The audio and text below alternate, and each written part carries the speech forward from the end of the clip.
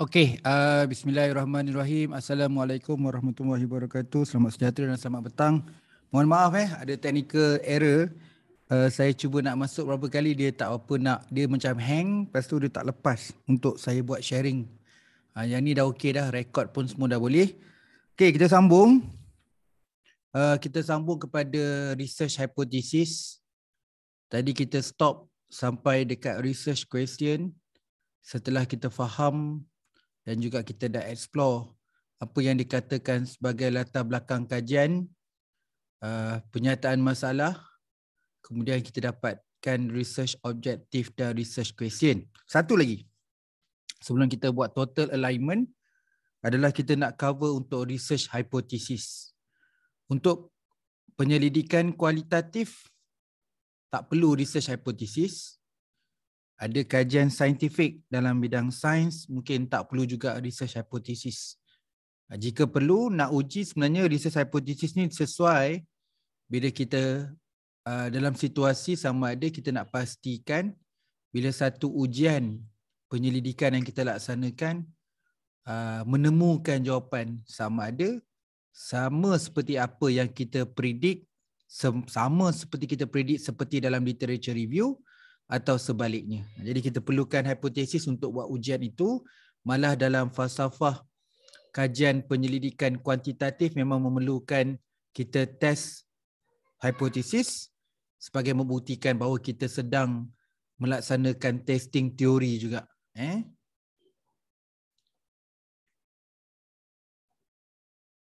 Okey, uh, ini sedikit penjelasan tentang hipotesis kajian. Jadi reason kenapa kita perlukan hipotesis adalah untuk menentukan ujian.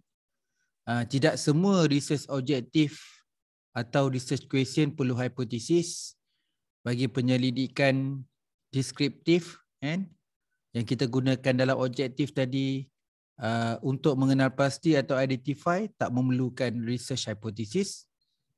Dia merupakan satu ujian yang perlu ditentukan sama ada atau kita sebut accepted atau reject lah kan terima atau tolak. Jadi dalam hipotesis juga penting selain daripada menentukan ujian adalah alignment. So kita tahu sebelum kita jumpa ataupun kita dapatkan research hypothesis kita kena dapatkan dulu research objektif dan research question. Dan uh, keterlibatan bersama research hypothesis dalam kita nak buat alignment penuh nanti. Uh, jadi bagi yang Uh, penyelidikan kuantitatif perlu dibina hipotesis juga bersama-sama dalam kita nak buat alignment penuh. Juga dia bagi juga, uh, juga dipanggil juga hipotesis ni ada dua kategori. Kita panggil hipotesis terbuka dan tertutup. Okey. Kemudian jenis hipotesis ni juga pecah pada dua. Hipotesis null dengan hipotesis alternatif. Kadang-kadang kita panggil juga hipotesis alternatif sebagai hipotesis penyelidikan. Bagi yang nak tak nak pecah. Maksudnya ada satu saja. Jadi dia kategori hipotesis penyelidikan lah. Ha, tapi kalau kita nak bangunkan H null, H1, kita boleh bangunkan dua statement. Yang null tu biasanya hipotesis null. Dan satu lagi adalah hipotesis one tu hipotesis alternatif atau hipotesis penyelidikan. Sangat penting uh, hipotesis ini supaya kita tahu hipotesis perlu ada literature review. So dengan adanya hipotesis ni kita tahu macam mana nak tulis bahagian metodologi, analisis dan dapatan. Jadi ini kepentingan hipotesis. Uh, saya ulang balik menentukan ujian untuk buat alignment. So kita tahu kategori hipotesis, jenis hipotesis dan nak tunjukkan perkaitan antara kejadian hipotesis daripada literature review dan juga and membantu kepada proses metodologi analisis dan juga dapatan. Jadi uh, hipotesis ini penyelesaian penyelidikan yang sebelumnya iaitu research objective dan research question. Jika perlu dibangunkan hipotesis bermaksud tidak semua penyelidikan perlu ada hipotesis dan keputusan biasanya kita sebut sama ada diterima atau ditolak. Okey, macam ni lah kan. Kita in general dia. So kita boleh buat template macam ni. Saya pun dah dah beri dah dekat grup WhatsApp uh, supaya kita kita kita dapat template ni, okey. Okey, contohlah kan.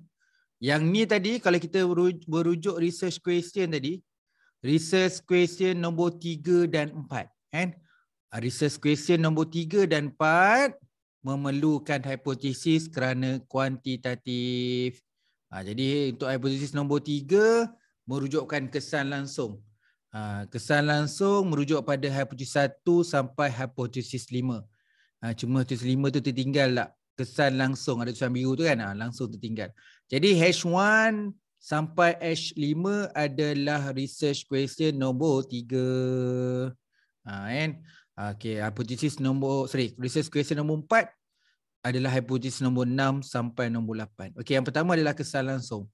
Adakah terdapat kesan langsung yang signifikan antara teknik menulis tesis dan pencapaian JOT adakah terdapat kesan langsung yang signifikan antara teknik menulis artikel dan pencapaian JOT adakah terdapat kesan langsung yang signifikan antara bimbingan berstruktur supervisor dan pencapaian JOT Adakah terdapat kesan langsung yang signifikan antara jalinan komuniti postgrad dan pencapaian JOT? Adakah terdapat kesan langsung yang signifikan antara kursus dan bengkel penyelidikan dan pencapaian JOT? Ha, so satu, hipotesis satu sampai hipotesis lima adalah kan kita nak tengok adakah terdapat kesan langsung. Okey, hipotesis enam, tujuh, lapan adalah kesan tidak langsung. Adakah terdapat kesan tidak langsung antara teknik tulis tesis, jalinan komuniti dan juga kursus dan bengkel penyelidikan dalam pencapaian JOT?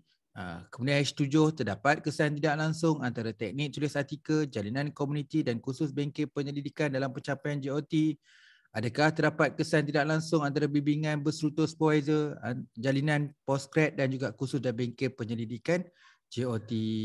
Ha, jadi kat sini kita nampak kita nak tengok kan dari konteks bagaimana ada ada tiga kajian kesan tidak tidak langsung. Ha, jadi H1 sampai H5 untuk research question nombor 3, H6 sampai H8 untuk research question kita nombor 4. Jadi kita boleh kata dalam kajian ni ada 8 hipotesis, ada 6 research question, ada 4 research objektif. Jadi objektif kajian ada 4, persoalan kajian ada 6, hipotesis kajian ada 8.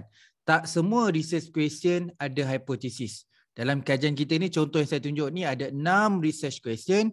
Cuma research question nombor tiga dan research question nombor empat saja yang ada hipotesis.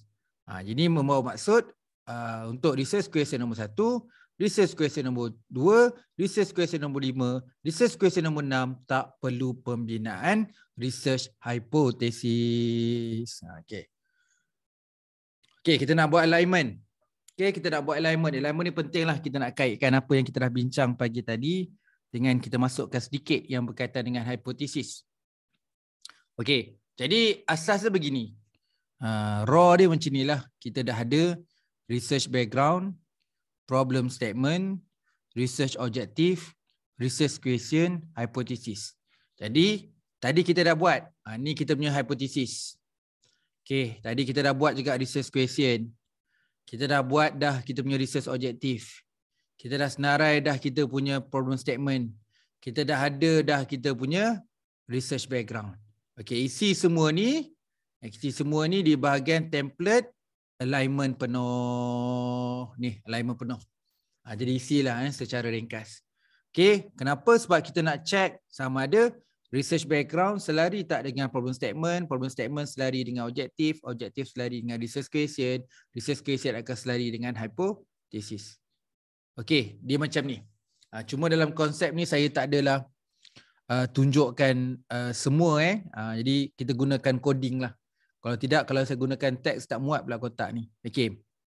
Jadi dengan andaian kita ada tadi, kita punya uh, research objektif kita kat sini Uh, ni kita nak, nak faham betul-betul lah kan. So kita ada 12 isu, kita ada 3 problem statement. Katakanlah saya buat dulu 6. Kita ada 6 research objektif, ada 8 research question, kita ada 12 hypothesis. Okay, katakanlah bila kita isi-isi tadi dapat macam ni. Okay, and kita bagi anda yang macam ni lah kan. Saya letak R1 tu research issue lah maksud dia. And kalau PS tu problem statement, RO research objective, RQ research question, H2 hypothesis. Okey. So kalau kat sini kita selarikan, ah, nampaklah. Eh, nampak kan kat sini memberi gambaran bahawa isu nombor satu sampai isu nombor lima tu merujuk pada problem statement nombor satu. Isu nombor enam sampai nombor sembilan untuk problem statement nombor dua. isu nombor 10 sampai 12 untuk problem statement nombor 3. Jadi kita tengok kat sini kan, semua isu berkait dengan penyataan masalah. Sama ada penyataan masalah satu atau dua dan tiga. Untuk penyataan masalah ataupun problem statement nombor satu, kan, masalah itu kena selesaikan objektif, ada dua objektif. Ha, jadi nak selesaikan masalah nombor satu, perlukan dua objektif. Begitu juga masalah nombor dua perlukan dua objektif. Masalah nombor tiga perlukan dua objektif. Kalau kita tengok research question, uh, research objektif satu ada satu research question, objektif dua pun ada satu research question, objektif tiga pun ada satu research question, nombor empat pun ada satu research question. Namun untuk research objektif nombor lima, dia keluar dua research question dan nombor enam pun ada dua research question. Jadi secara total kita ada research question adalah lapan berbanding objektif enam. Okey, jadi kat sini kita nampak tak ada alignment antara research question 1, research question 2, research question 3, research question 4. Ini membuktikan bahawa research question nombor 1 hingga 4 tak perlu hipotesis. Ha, tetapi research question nombor 5 perlukan 3 hipotesis, research question nombor 6 perlukan 3 hipotesis, research question nombor 7 perlukan 3 hipotesis dan research question yang ke-8 perlukan 3 hipotesis. Jadi saya ada conclusion dalam contoh yang saya nak tunjuk ni ada 12 isu, ada 3 masalah, ada 6 objektif, ada 8 research question dan ada 12 hipotesis. Okey, yang ni yang kita nak kena hasilkan. Ha, yang ni kat sini kan tak lebih tak kurang. Semua isu berkait dengan penyataan masalah. Masalah ada objektif. Setiap objektif ada research question dan ada beberapa research question yang perlukan hipotesis.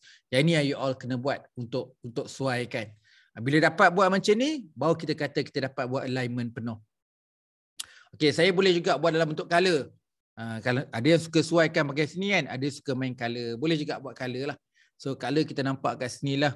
Uh, research 1 hingga 5 ada problem statement nombor 1. Uh, research question nombor 6 sampai 9 uh, untuk problem statement nombor 2. Uh, research uh, isu nombor 10 sampai 12 ada warna hijau. Okay, saya tambah saja je. Saya tambah nombor 13, 14, 15. Kemudian empat tambah problem statement nombor empat. Ha, jadi nampaklah kan warna purple macam tak kena sebab problem statement tu warna warna coklat kan. Okay, kemudian kita tengok research objektif uh, ada satu uh, dengan research question satu, research question dua untuk research question nombor dua kan. So kita nampak itu ada dan kita nak tengok macam mana kalau case jadi macam ni. Ni contoh saya nak createkan satu problematik eh. So bila jadi situasi katalah data kita macam ni, so bila kita nak buat alignment, dia jadi macam ni. Uh, kan kita ada masalah untuk research question nombor 13, 14, 15. Jadi uh, tak tak tak selari dengan problem statement nombor 1, 2, 3 dan mas, masalahnya problem statement nombor 4 pun macam tak match dengan isu nombor 13, 14, 15. Jadi kita boleh delete uh, untuk research question nombor 13, 14 dan 15 dan juga problem statement nombor 4. Jadi bila kita bangunkan problem statement nombor 4, uh, bila kita dah decide nak buang uh, research issue nombor 13, 14, 15, bila problem statement nombor empat, jadi research question dengan research objektif nombor tujuh. Nombor tujuh untuk research objektif dan nombor sembilan untuk research question pun perlu di, dibuangkan. Walaupun walaupun sebenarnya research objektif tujuh dengan research question uh, tu match, align, tapi dah sebab kita dah buang problem statement tu, jadi automatically research issue 13, 14, 15 buang, problem statement nombor empat pun kena buang, research objektif nombor tujuh pun kena buang, uh, research question nombor sembilan tu pun kena buang. Sebab tu penting alignment ni. Ha, bila kita decide problem statement nombor empat nak buang, maksudnya research background pun kena delete, objective pun kena delete, research question pun kena kena delete. Ha, ini yang dikatakan alignment. Memang kena susun macam ni baru kita nampak. Okay, bila kita dah delete jadilah macam ni. Ha, jadi macam ni lah. Ini saja nak create kan. Mula-mula ada 15 isu, ada ada empat problem statement. So bila kita dah remove tiga research question dan satu problem statement dan juga research objective yang ketujuh dan research question ke sembilan, last sekali yang final kita dapat macam ni. Jadi kita nampak cuma ada tiga color je. Iaitu warna biru, eh, warna hijau dan warna merah. Ha, kat sini jelas lah kan. Kalau kat sini kita nampak uh, kalau ada ada lima research issue, ada satu problem statement. Ada isu nombor enam sampai sembilan untuk problem statement nombor dua. Isu yang ke-10 dan ke-12 untuk problem statement ketiga. So ada dua objektif untuk problem statement nombor satu, dua objektif untuk problem statement nombor dua, ada dua objektif untuk problem statement nombor tiga. So kemudian kita ada uh, satu research question untuk nombor satu, kita ada satu research question untuk nombor dua, satu research question nombor tiga dan satu research question untuk nombor empat. Namun untuk research question, sorry, research objektif nombor lima, kita ada dua research question. Objektif nombor enam, kita ada dua research question. Jadi kat sini untuk research question 1 hingga 4 tak perlu hipotesis. Kita perlukan hipotesis untuk nombor 5, 6, 7, 8. So kita ada tiga hipotesis untuk research question nombor 5. Kita ada tiga hipotesis untuk research question nombor 6. Kita ada tiga research question, sorry, tiga hipotesis untuk research question nombor 7. Dan kita ada tiga research question, sorry, kita ada tiga hipotesis untuk research question nombor 8 ni. Ha, jadi kat sini lah kita nak pentingnya kita nak buat alignment. So kita nak check sama ada kita buat ni betul ataupun tidak. Okay, ataupun kita boleh combine macam ni. Ha, ni double confirm lah. Mula-mula kita test skala, lepas tu kita sesuaikan. Jadi jelas kat sini lah. So bila kita dapat macam ni, kita tak risau lah. Ha, kita punya alignment penuh tu dah selesai. Ada soalan nak tanya? Mix method, uh, kan saya sebutkan tadi, uh, Novi mungkin tertinggal pagi tadi. Uh, mixed method ni kena jelas lah untuk sekolah yang yang yang yang kita rujuk. Eh, dalam kes ni kita kita nampak bahawa ada kewujudan uh, instrumen soal sidik, ada instrumen untuk uh, interview, ada uh, untuk pembangunan sistem. Kalau kita tengok tadi objektif nombor nombor satu tu uh, adalah kuantitatif deskriptif. Objektif nombor dua adalah nak buat kualitatif, especially nak buat bagian explanation. Nombor tiga adalah buat SEM, kuantitatif. Nombor empat adalah pembangunan sistem. So, kita boleh kata yang kajian ini adalah mixed method. Ah, dan juga kita boleh kata dia juga sebagai kajian mixed teknik. Untuk jadikan dia mixed method, saya galakkan supaya di bahagian penyelidikan kualitatif tu menggunakan satu metod. Ah, contohlah untuk objektif nombor dua tadi itu kan kita boleh menggunakan satu metod dalam kualitatif lah. Tidak cukup sekadar menggunakan soal sidik yang gunakan dokumen ataupun observation kita boleh pertimbangkan memasukkan satu metod untuk objektif nombor dua supaya kita boleh tak risaulah ha, kalau ikut Creswell okeylah tak ada masalah. Dia kata once you ada pertemuan data collection kuali dan kuanti boleh jatuh mixed method. Tapi kalau tengok classic books um, basically dia akan tengok juga uh, dekat bahagian kualitatif interview tu which method you guna. Uh, which method tu merujuk pada case study lah. Ada ada buat case study ke nak pakai action research ke. Uh, jadi kita kena sebut. Kalau dalam kuantitatif kita kena sebut kajian ni menggunakan inferential dengan menggunakan structure question model dengan menggunakan survey. Tapi untuk kualitatif macam mana kita nak jawab? Uh, macam ni kita nak jawab. Okay, bahagian kualitatif apa research strategi yang kita guna? Ha, jadi ada setengah kita kena jawab lah untuk bahagian kualitatif saya menggunakan apa? Ha, kan? Saya gunakan uh, action research ke case study ke kan, uh, grounded theory ke? Ha, jadi kita kena sebut lah eh, tapi kalau tanya saya kalau kalau tanpa memikirkan yang kompleks memang ini salah satu yang juga dikatakan sebagai mixed method research. RQ tidak semestinya perlu sama dengan bilangan. Ya betul. Jadi maksudnya satu objektif kadang-kadang kita perlu dua research question.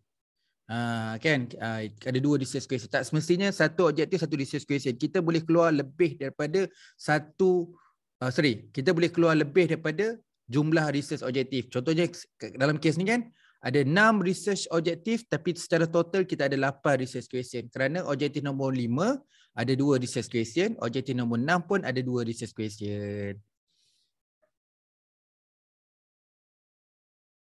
Okey, dia kata kasi research objektif tidak semestinya perlu sama dengan bilangan research objektif dan research hypothesis yang relevan dengan research kes saja. Betul. Contoh doktor ini refer pada kesan tidak langsung saja, itulah fokus pada study. Tak, kesan langsung dan kesan tidak langsung, kedua-duanya. Kan ada tadi kesan langsung dan kesan tidak langsung. Ah, kan? Uh, bukan bukan kepada uh, kesan tidak kesan tidak kesan tidak langsung saja ada kesan langsung juga eh Kedua-duanya ada kesan langsung dan kesan langsung. So, kita jelas kat sini lah ada kesan langsung dan kesan tidak langsung. Okay. Kesan langsung pada hipotesis, kesan tidak langsung pada hipotesis. Okay.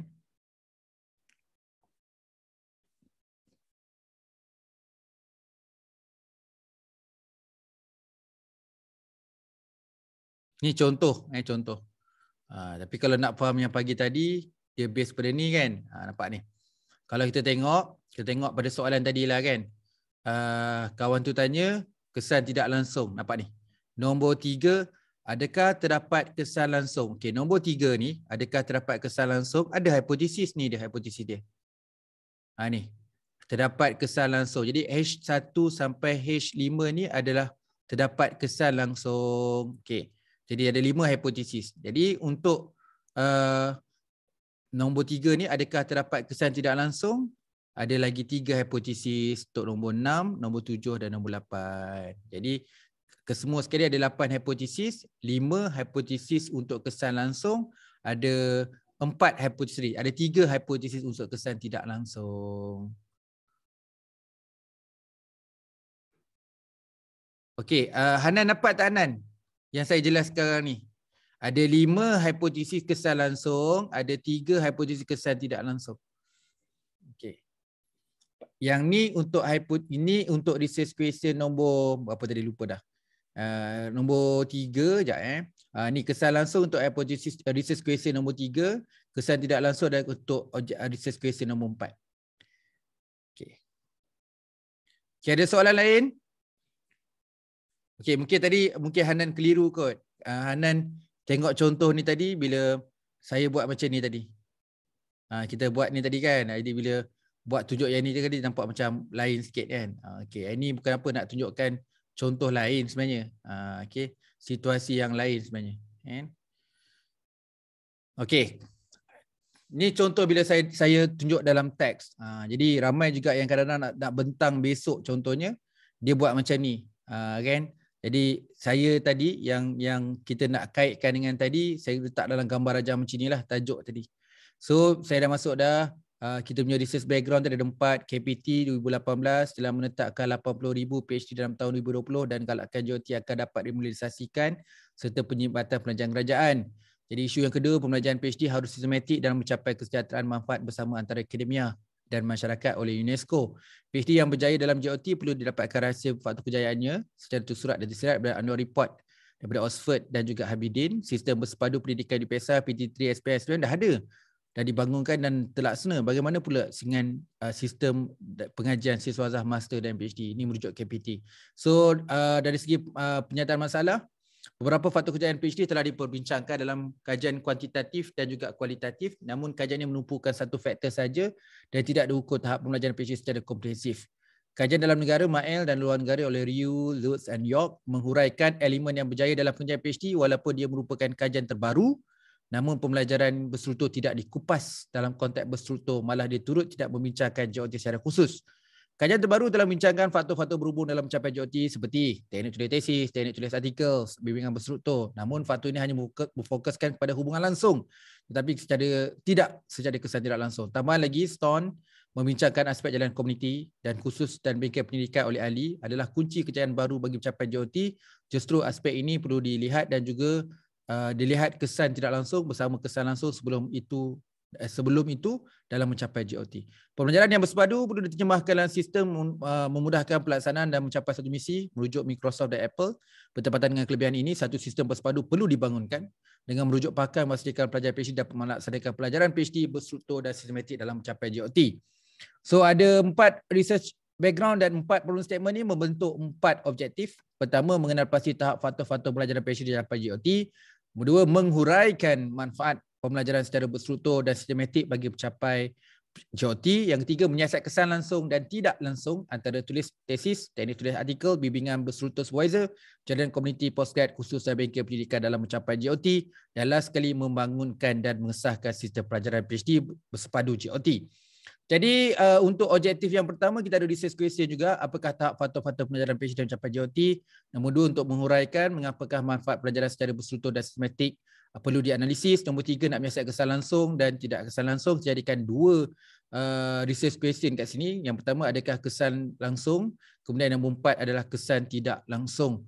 Okey, yang keempat membangunkan serta mengesahkan sistem pelajaran PhD. Kita ada bagaimana membangunkan sistem dan juga satu lagi bagaimana mengesahkan sistem. Okey, jadi kita nampak kat sini tulisan warna biru. Eh, jadi research question nombor 3 dan 4 saja perlu ada hipotesis. 5 hipotesis untuk kesan langsung dan kita ada 3 hipotesis untuk kesan tidak langsung.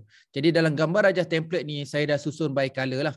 So kalau kita rujuk pada uh, isu nombor 1 berkait dengan masalah nombor 1 dan objektif nombor 1 dan research question nombor 1. Untuk research background nombor 2 dia berkait dengan problem statement nombor 2, research objektif nombor 2 dan research question nombor 2. Untuk research background nombor tiga berkait dengan problem statement nombor tiga, uh, research objektif nombor tiga dan dua research question yang ketiga dan keempat. Untuk um, isu yang keempat, kita perlu dikaitkan dengan pernyataan masalah nombor empat, dikaitkan dengan objektif nombor empat dan relate dengan research question nombor lima nombor enam. Saya tertinggal satu. Uh, untuk uh, research background nombor tiga, problem statement nombor tiga, untuk objektif nombor tiga, kita ada dua research question dan kita ada lapan research hypothesis. Okey, daripada ni apa nak tanya?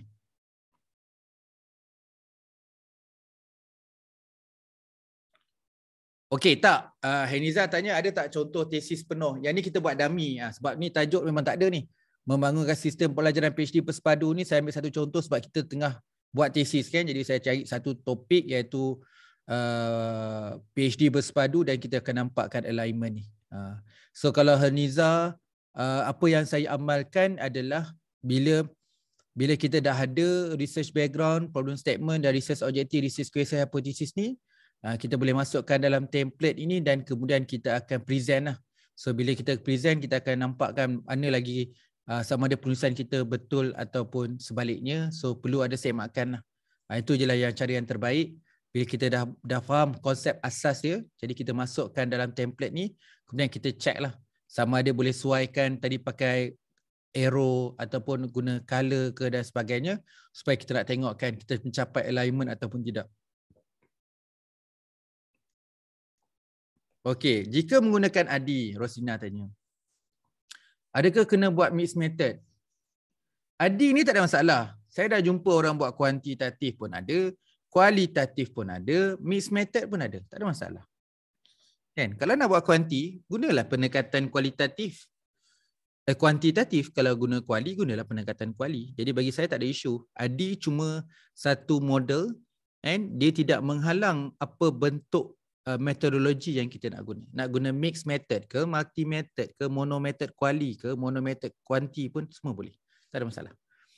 Sebab ada implementation and evaluation. Implementation kalau you nak gunakan uh, eksperimen jadi you nak guna test survey. Jadi ya kat jadi kuanti kalau implement tu uh, kalau kalau gunakan secara deskriptif kita tak boleh kata dia ha, dah jadi kuanti yang jadi implementation tu dan survey tu bukan inference. Ha, jadi kita boleh gunakan deskriptif ha, evaluation pun sama kan? Ha, jadi kita boleh boleh gunakan based on the checklist uh, structured uh, structured checklist maksudnya structured observation. So boleh juga uh, ADI tu menggunakan kaedah kualitatif sebenarnya. Jadi kita dah mulakan analisis keperluan tu dah guna kualitatif. Kemudian uh, design and develop tu kita kita by by researcher lah. Researcher yang design and develop kemudian dalam design and develop tu pun kita boleh sahkan kalau nak sahkan guna kualitatif pun boleh. Okey kemudian kita dah implementation. So implementation mungkin kita ada satu satu pendekatan deskriptif yang kita guna. So deskriptif tak ada masalah. Deskriptif juga boleh hidup dua alam. Dia boleh kuali dan kuanti dan kalau tanya saya tak tak ada isu sebenarnya. Adi itu uh, kuali kuanti atau mixed method dalam bidang-bidang tertentu contoh engineering kan bila dia pakai adi dia tak sebut pun kuali dan kuanti. Ha, dia cuma lalui the proses je. Ha, tapi kadang kadang setengah dalam kajian sains sosial walaupun kita pakai adi kita kena jawab juga kajian kita ni mixed method ke kan? Kuantitatif atau kualitatif.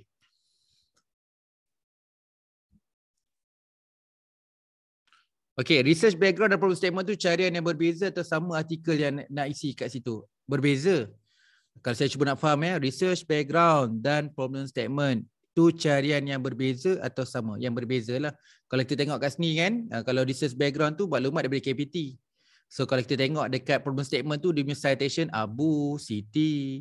Kan? Kalau kita tengok kat sini lain research background ada UNESCO, ada no report Oxford, kita ada KPT. Tapi banyak problem statement kita support by by by scholar eh. macam-macam ada Microsoft, ada Apple, ada Ali, ada Dyna, ada City. So so berbeza lah. Uh, berbeza ikut konteks lah. Eh?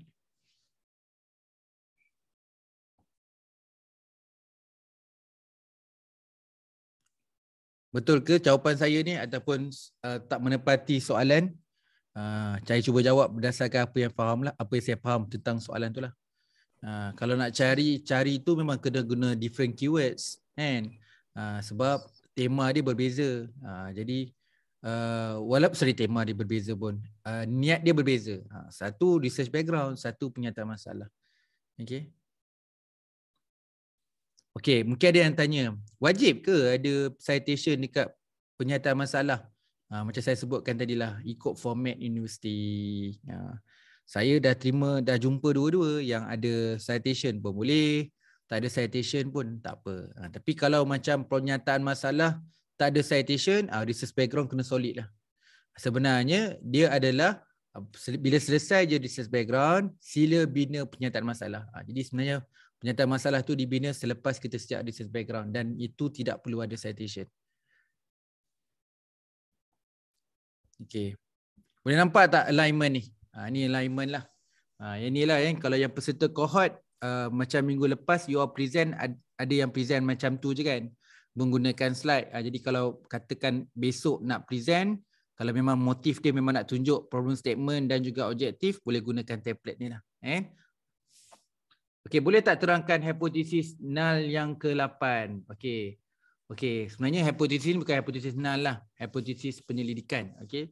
Nombor 8, adakah terdapat kesan tidak langsung antara bimbingan berstruktur, supervisor, jalinan komuniti dan juga khusus bengkel penyelidikan? Okey, dalam kajian ni yang dia punya DV adalah uh, graded on time, pencapaian GOT tu. Uh, dia tertinggal patutnya dan GOT tu patutnya pencapaian GOT. Okey, kemudian uh, dia punya uh, mediating kat sini uh, jap eh saya kena tengok balik.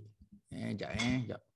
Okey. Mediating dekat sini jadi kesan langsung dia ada teknik tulis bimbingan jalinan okey jadi jalinan komuniti dan khusus bengkel tu adalah uh, dia punya uh, IV uh, tapi jalinan komuniti dan khusus bengkel tu dia mediating uh, itu yang dia buat lah kalau kita tengok kat sini dia punya dia punya IV dia adalah kesalahan langsung atau teknik tulis tesis, teknik tulis artikel, bimbingan berstruktur supervisor.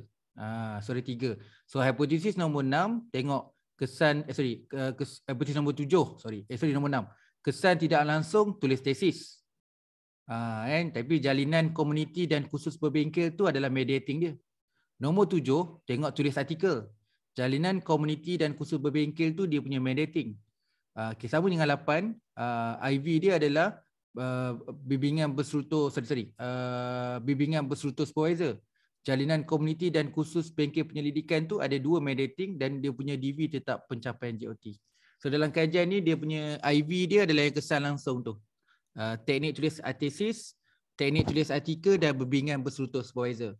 So dia orang ada dua mediating variable iaitu jalinan komuniti dan juga khusus dan bengkel penyelidikan dan DV dia adalah pencapaian GOT. Ha, kalau kita faham structure macam tu kita faham kenapa dia ada tiga uh, indirect effects sebab ada mediating. So dia ada lima direct effects sebab tak melibatkan moderator, moderating atau mediating. Ha, yang tu dapat tak? Yang tanya ni. Dapat Saliza?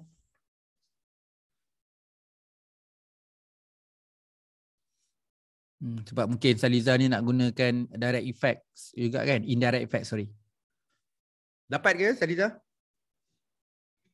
Terdengar ke? Ah, dengar, uh, dengar. Saya buat kuali. Saya tak uh, berapa zoom in into apa kuanti. Jadi saya nak tahu ter, uh, lebih lanjut apa dia hipotesis null ni sebenarnya. Sebab ya sebenarnya macam ni. Uh, uh, bila Saliza buat kuali, memang Saliza tak akan involve dalam hipotesis lah. So tapi dalam buku teks research metodologi kualitatif kita ada juga keterkaitan dengan hipotesis. Nama dia adalah generating hypothesis. Generating hypothesis tu berdasarkan apa yang kita dapat daripada kajian kita. Lain maksud dengan kuantitatif ni. Hipotesis dia adalah hypothesis testing. Jadi hypothesis uh, testing ni dalam kuantitatif dia basically ada dua lah. Kalau ada hypothesis null, dia ada hypothesis uh, alternative atau kita panggil hypothesis ones ataupun hypothesis one ni boleh juga nama dia hipotesis penyelidikan. Jadi basically kalau you tanya hipotesis null tu apa, hipotesis yang bertentangan dengan literature. Ha, contohlah, contohlah. Dalam literature review, dalam teori mengatakan A dan B tu terdapat hubungan. Ha, jadi statement hipotesis alternatif atau hipotesis penyelidikan adalah terdapat hubungan yang signifikan antara A dan B. Sebaliknya, hipotesis null uh, kontras. Kalau hipotesis alternatif dah kata terdapat hubungan, hipotesis null tu tidak terdapat hubungan. Okay, saya saya pusing sikit. Katakan dalam literature review mengatakan tiada hubungan. Banyakkan scholar-scholar mengatakan dalam literature review tiada hubungan. Jadi hipotesis alternatif atau hipotesis penyelidikan kita adalah kena tulis tidak ada hubungan antara A dan B. Sebab literature kata apa? Hipotesis penyelidikan ikut apa kata literature. Sebalik hipotesis null, kontras. Kalau dia kata tadi hipotesis penyelidikan kita tidak terdapat hubungan, maka hipotesis null kita terdapat hubungan. Ha, jangan hafal. Zaman saya degree dulu saya hafal. Oh kalau null tidak. Kalau hipotesis alternatif atau hipotesis penyelidikan, ya. Ha, salah. Ternyata saya salah. Ha, final exam, lecturer pusing sikit, habis kita tak dapat skor. Ha, rupanya, hipotesis penyelidikan adalah statement berdasarkan literature review. Sebaliknya, hipotesis null, uh, dia adalah sebaliknya. Ataupun keadaan situasi yang mana dalam literature review dulu ada. Ada yang kata ada hubungan, ada yang kata tidak ada hubungan. Jadi kita kena decide yang mana yang kita lebih kuat. Biasanya yang lebih banyak kita pilih. So bila lebih banyak, kalau lebih banyak tu uh, ada hubungan, maka hipotesis penyelidikan kita ada hubungan. Ha, jadi hipotesis null tu tiada hubungan. Kan? Ha, tu dari segi konsep dia lah. Ha, jadi untuk kualitatif tak sesuai lah. Memang orang kata kalau kita buat tu memang langgar betul-betul lah. Memang falsafah kualitatif kita tak boleh testing teori. Apatah lagi nak testing hipotesis. Kecuali ha, ada dua. Kadang-kadang dua top dua research strategi ni dalam buku kualitatif pun dah di, di orang kata dah dibuang ada setengah buku kualitatif buang case study dengan action research. Kerana action research dan case study je, dua research strategi ni boleh menerima uh, teori testing. Uh, tu dua budak nakal. Dua orang research strategi yang nakal dalam kualitatif adalah case study dan action research. Kan? Kalau you ada plan nak buat kualitatif tapi you you nak ikut teori that you boleh buat action research dengan case study. Dia macam ni. Orang-orang uh, case study dan action research tak apa benda ni dah ada teori. Okey benda dah ada teori. Jadi kita ikut teori tu tetapi kita buat penyelesaian atau buat research tu dalam bentuk kualitatif. Maksudnya dia turun badang dia still interview dia still observation. Tapi dia dia tak pening tentang mapping. Maksudnya dia dah ada dah ada framework sebelum turun turun collect data. Tapi basically pure kualitatif kita tak ada framework turun turun collect data. Ha, tu tu sedikit uh, kita kata advance dalam kualitatif tu bila kita bincang adakah semua uh, strategi penyelidikan dalam kualitatif tak boleh testing teori jawapan dia ada dua je yang boleh buat iaitu case study dan juga action research okey ada soalan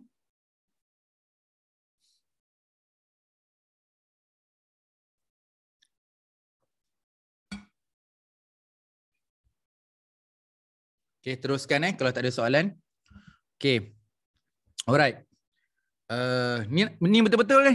Kalau boleh nak tanya-tanya bagi saya ni ni bahagian yang bahagian yang paling kalau tanya saya uh, ni yang saya tengah tunjuk dekat slide ni inilah bahagian yang bagi saya yang paling kritikal lah. Kan bahagian ni lah boleh menyebabkan kita dapat major correction bila uh, yalah di dalam bentuk teks jadi macam ni lah kan. Uh, tapi kalau you nak tengok dalam bentuk uh, formula ataupun nak nampak lebih lebih confirm betul-betul ini boleh berkait ataupun tidak so kita boleh buat coding macam ni lah. Kan coding macam ni dan kita nampak satu-satu benda tu selari atau tidak. Atau kalau dekat rumah nak buat kat whiteboard ke tak ada masalah. Kalau tanya saya kan whiteboard tak mahal pun sebenarnya. Kalau you cari dekat Shopee pun tak mahal terpulang lah. Ada yang nak pakai stand dengan tak pakai stand. Saya rasa you memang kena cari dinding dekat rumah untuk letak benda ni lah. Ha, jadi so bila dekat rumah uh, bila bila ada whiteboard tu bila you you alignkan balik semua kita punya research background, pernyataan masalah, objektif research case and hypothesis. So kita nampak apa yang kita tulis selama ni sebenarnya ada ada contribution. Maksudnya betul tak isu ni ada kait dengan problem statement yang mana? Ha, jadi kalau mana-mana contohlah macam contoh saya tunjukkan tadi um, contoh nombor 13, 14, 15 ni tak tak boleh membuktikan bahawa uh, isu nombor 13, 14, 15 tu berkait dengan mana-mana pernyataan masalah. Asalnya ada pernyataan masalah nombor empat tapi uh, pernyataan masalah nombor empat tu tak boleh nak kaitkan dengan 13, 14, 15 maka kita kena delete tiga dalam research background kita kena delete problem statement nombor empat. Jadi automatically bila problem statement nombor empat tu kita tengok memang tak selari pun dengan research objektif. Memang tak selari lah. Memang uh, problem statement nombor 4 ni memang out habis lah. Dengan latar belakang pun dia tak tak, tak align. Dengan research objektif pun tak align. Lepas tu pangkah semua ni. Walaupun research objektif dan research question tu align, warna hijau, tetapi tidak bermakna lagi. Kerana problem statement nombor 4 tu dah ada buang automatic research objective nombor 7 dan research question nombor 7 tu dan nombor 9 tu kena dibuang juga. Kenapa nak adakan objektif dari research question bila problem statement itu dah tiada? Ha kan? Okey ada soalan nak tanya? Sebelum saya masuk selepas ni ada tiga perkara lagi. Iaitu uh, ya saya uh, untuk actual um, scenario kita memang kena buat research background ni dua tiga lah. Jadi untuk kita punya presentation sebenarnya kita kena buat dua tiga research background to support the problem statement. Betul tak? Dia macam ni, research background kita tak boleh quantify dia dua ke, tiga ke dan sebagainya. Okay, uh, kalau tanya saya, kalau you present untuk proposal defense, research background tak ada, tak ada dalam slide pun tak apa. Kan? Kalau proposal defense, research background tak ada dalam slide pun tak apa, kita terus pada problem statement. Tetapi bila orang nak baca dalam thesis kita, okay, uh, kita kena cerita research background. Okay. Yang kat sini susah saya nak jawab dalam konteks tepat. Saya cuma nak bagi tahu gambaran. Okay. Uh, basically, dalam penulisan kita dalam thesis, research background wajar dia lagi banyak daripada problem statement. Uh, kita tak boleh kata masalah lagi banyak daripada isu. Tak boleh. Kita kena cakap isu lagi banyak daripada daripada permasalahan. Ha, jadi kat sini yang bila kita tulis isu yang banyak, ha, itu yang muncul ni kita bincangkan tadi. Jadi general issue ke, jadi isu yang relevan ke dan isu yang relevan tadi boleh kaitkan dengan potential penyelidikan. Ha, jadi kalau tanya saya, uh, memang kan nampak dalam kotak ni macam saya besarkan pernyataan masalah. Ha, cuma sebab saya nak nampak clearkan problem statement tu. Tapi sebenarnya hakikat yang sebenar research background lah lebih luas berbanding pernyataan masalah. Ha, kalau di sini kita ada empat uh, perenggan pernyataan masalah, mungkin research background kita lebih. Ha, kadang-kadang um, bagi menyokong ayat dia, bagi menyokong pembinaan penyataan masalah nombor satu melibatkan beberapa isu. Ha, biasalah kita ada masalah. Saya ada masalah dari segi berat badan saya. Ha, jadi banyak isu dia kenapa berat badan saya meningkat. Ha, kan? Yang kedua, uh, saya punya masalah in term of uh, commitment. Ada beberapa isu yang menyebab saya tak boleh bagi komitmen yang baik. Jadi sebenarnya dalam template ini sekadar nak menunjukkan keterkaitan kelima-lima ni. Uh, tetapi kalau dalam actual yang sebenar, research background lebih luas. Macam kita bincangkan tadi, ada statistik, ada ada isu-isu lain yang berkaitan pun pernah ada. Ha, cuma kita kena susun lah kan kalau boleh untuk problem statement nombor satu ni. Ha, jadi kita tahu kalau isu dia ha, satu kumpulan. Mungkin muka surat dalam research background tu muka surat satu, muka surat dua tu untuk problem statement nombor satu. Muka surat nombor tiga, nombor empat untuk problem statement nombor dua. Ha, macam itulah. Kita kena susun ikut synchronize juga. Kan? Jadi doktor yang kita highlight ni adalah apa tu research background yang utama lah. Uh, boleh jadi. Dan satu lagi sebab sebab saya sebenarnya nak tunjukkan banyak tapi tak muat kotak. Uh, jadi sebab tu nampak macam ada empat je kan. Sebenarnya actual tu bukan empat. Mungkin dia ada lebih. Uh, nampak macam gambar rajah ni kan. Uh, macam ni saya tunjuk tadi kan. Uh, nampak tak? Dia ada lebih. Betul tak? Dia ada 12. Dia ada 12 isu sebenarnya. Uh, ini gambaran lain lah saya tunjukkan. So kita ada 12 isu. Padahal problem statement kita tiga je. Uh, untuk problem statement nombor satu tu ada lima isu. Uh, jadi boleh macam ni. Uh, ini yang yang ni saya kata actual macam ni. Yang ni actual commonly actual akan berlaku macam inilah. Uh, doktor. Ya, ya. Okay, uh, kalau kita tengok eh, uh, isu ni memang macam kita cakap lah sebenarnya memang banyak, banyak. Tapi adakah isu yang kita highlight dalam kolom ni akan kita cerita sampai ke akhir, sampai ke conclusion tu nanti? Ataupun kita boleh ya. pilih? Ya. Ha. Kita kita contohlah saya nak buat perbincangan, perbincangan kajian. Hmm. Perbincangan kajian 45. Kan saya sebut perbincangan ni bukan perbincangan dapatan tetapi perbincangan kajian. Bila kita nak bincang kita kata okey uh, kita dapat dapatan kan. Oh dapatan ni kenapa boleh jadi dapat dapatan ni? Kita boleh kaitkan balik dengan kita punya dapatan. Kita boleh kaitkan dengan kita punya analisis. Kita boleh kaitkan kita punya dengan method. Kita boleh kaitkan dengan literature review. Kita boleh kaitkan dengan kita punya chapter 1 termasuklah problem statement dan research background. Uh, jadi kena relate. Jadi sebab tu yang kat tadi, kat yang yang kita bincang tiga tadi, saya pecah tiga kan, uh, general issue. Uh, general issue penat lah. Macam mana you nak you nak you nak cerita tentang apa perbincangan dapatan kajian kita dengan general issue. Uh, jadi kalau tanya saya, kita relate dekat isu yang related dalam kajian kita. Jadi maksudnya kat sini ada dua kumpulan tadi. Relevant issue dan satu lagi relevant issue dalam penyelidikan. Uh, sebab kadang-kadang kadang-kadang dia macam susah susah saya nak kata dia kan saya kata tak semua isu tu boleh straightforward kepada penyelidikan. Uh, tapi ada certain tu kita boleh kita boleh mix lah eh. Ada dalam dalam penulisan research background kita kita boleh kata semua penulisan dalam research background kita adalah relevant issues. Cuma ada certain tu mungkin dia tidak menjurus kepada penyelidikan tapi dia berkait secara tidak langsung pada penyelidikan itu. Ha, jadi ada dua kumpulan lah. Jadi kalau tidak memikirkan saja relevant isu pada penyelidikan nanti takut tak tertulis pula research background nanti. Ha, jadi yang paling penting keyword dia relevant issues. Yes, macam you tanya tadi berkait ya dia berkait. Panjang ni. Kereta api tak habis lagi ni. Ada kereta api ni lepas hipotesis ada kereta api lagi sampai chapter 5. Ni baru chapter 1. Hmm. Ha, chapter satu pun tak habis lagi ni. Tak masuk lagi kepentingan kajian dan alimentasi. Jadi sebenarnya nak dapatkan alignment ni, bayangkan daripada research background sampai mana tau last sekali cadangan kajian akan datang. Hmm. Ha, jadi dia panjang lagi ke kanan tu. Jadi kalau whiteboard kita kat ubah tak tahu lah size apa yang kita kena beli sebenarnya. Ha, kan? Panjang maksudnya lagi kan. Tapi tak apalah kita by stages by stages lah. Ha, jadi dalam chapter 1 ha, ni yang paling paling utama lah. Ha, kan? Tapi doktor untuk research proposal cukup kita highlight main issue lah. Untuk uh, kalau tanya saya, uh, dia orang dah baca tesis kita, betul tak? Yang logik dia, kita kan submit kita punya proposal, okay, kita punya writing chapter 1, chapter 2, chapter 3, uh, depends pada universiti lah. Ada setengah universiti dia tak nak chapter 1, chapter 2, chapter 3 kan? Dia nak 5 line je, 10 line. Tapi kalau universiti saya nak chapter 1, chapter 2, chapter 3. So kalau tanya saya dari segi report ataupun cara kita hantar progress tu kena penuh lah. Ha, tapi untuk kita bentang dalam slide mungkin kita boleh cerita pasal main issue saja. Kalau tempat saya uh, hantar chapter 1, chapter 2, chapter 3 kena detail lah. Uh, cuma dari segi presentation kalau student saya tak ada slide untuk research background, dia terus problem statement. Tapi semasa kita cerita tentang problem statement tu kita kaitlah dengan isu. Ataupun you boleh ambil uh, template yang kat dekat slide sekarang ni, uh, jadikan sebagai slide presentation masa proposal defend pun boleh. ambil keywords lah kan mesti kita proposal defend kita letak keyword so uh, part kita lah untuk bercerita dalam dalam presentation tu nanti. Uh, saya rasa okey ni kalau ini you masukkan dalam dalam slide memang sangat bantulah. Memang membantu penilai sebenarnya. Uh, bantu pemeriksa bahawa you dah bantu dia orang untuk memaham nak memahamkan apa sebenarnya research ini buat kan? Uh, doktor saya nak tanya boleh ah ya silakan. Uh, saya macam kongsi saya masalah itu dengan mak isu dengan masalah ni. Kan hari tu saya ada bentang uh, saya punya basically uh, sebenarnya saya nak solve non-linear equation tu.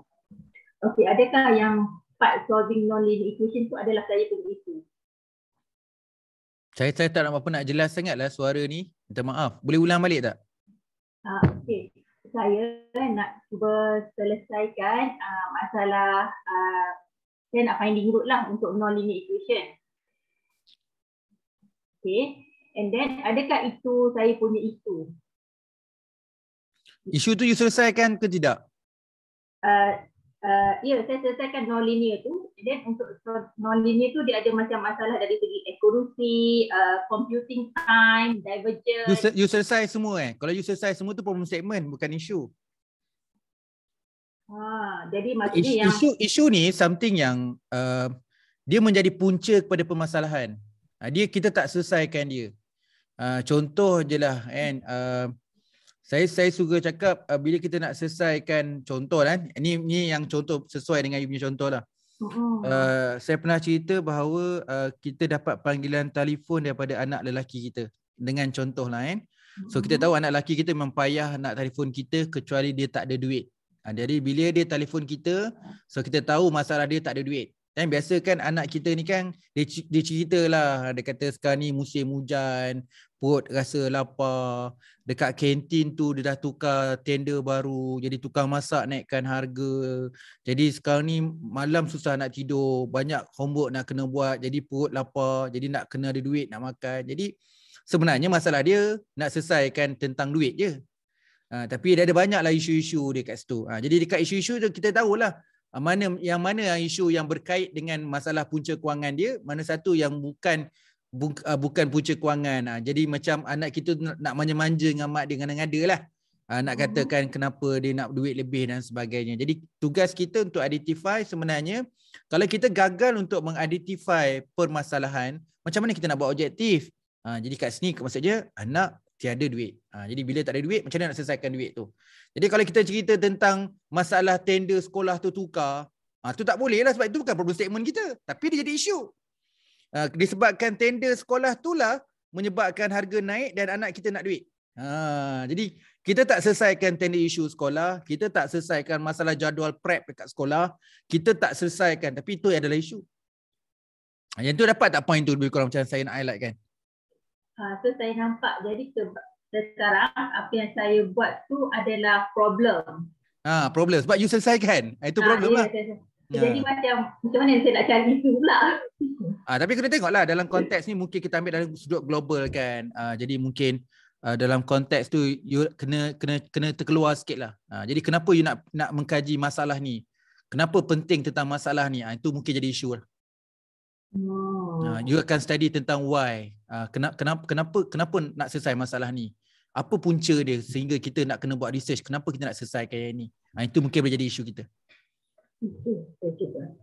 Uh, jadi apa, apa yang you buat tu kalau apa yang kita selesai itu masalah.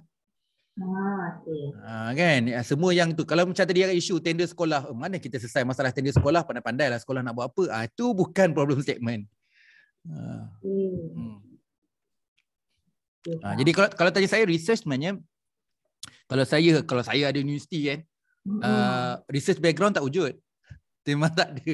Uh, dia tak ada research background. Dia terus problem statement. Uh, sebenarnya research background ni bila saya amati betul-betul dia perlukan satu bab.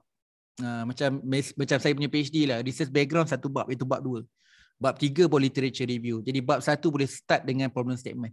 Uh, jadi dah dah dah dah kuranglah pening tentang research background tu. Bagi saya memang research background menjadi punca kepada permasalahan dekat reading kita lah. Ha, jadi bukan kata you all, kita orang pun jadi penilai pun banyak kita kita question you punya research background tak betul dan sebagainya.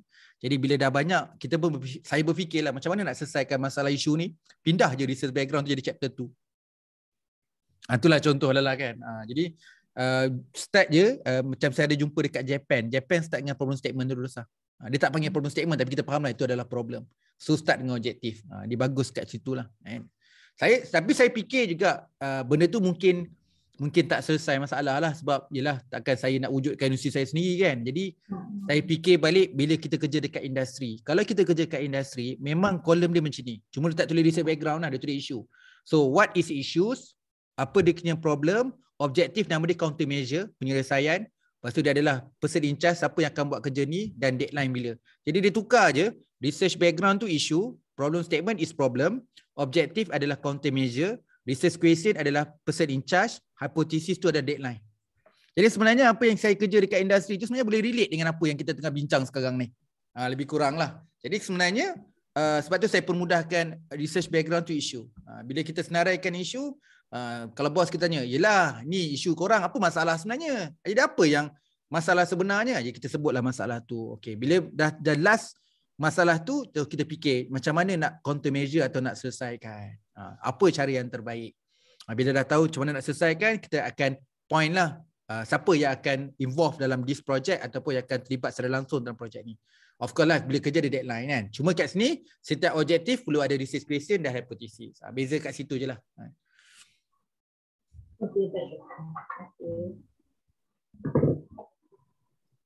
Betul. Ya, saya, silakan uh, kalau research question, uh, misal kata research question kita tu dia tidak uh, ada hipotesis. Boleh? Macam nombor satu, nombor dua, nombor tiga, nombor empat. Uh-huh. Ada hipotesis, elok je. Maksudnya dalam keseluruhan penulisan kita tu, research question kita tu tidak contribute pada hipotesis, tak ada masalah kan? Contoh kan bila saya cakap tadi, kita dah tengok dekat Bloom taxonomy tadi. Dekat hmm. bahagian remembering, iaitu identify. Jadi untuk research question nombor satu, nombor dua, nombor tiga, nombor empat dengan andaian saya lah kan. Jangan, jangan tengok contoh GOT ni bukan contoh GOT ni andaian saja. So kita mengandaikan objektif nombor satu, dua, tiga, empat ni bukanlah kajian. Kalau dalam kuantitatif dia inference. Kita maksud nak tengok perbezaan ke, nak tengok korelasi ke, tengok regresi. Bukan.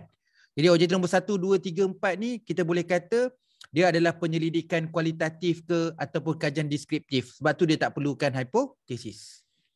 Ha, ambil contoh lah. Kadang-kadang problem statement nombor satu ni deskriptif. Problem statement nombor dua ni kualitatif. Jadi memang tak perlulah semua ni. Jadi research question, sorry, penyataan masalah nombor tiga tu bahawa ada terlibatnya kesan langsung dan kesan tidak langsung tu.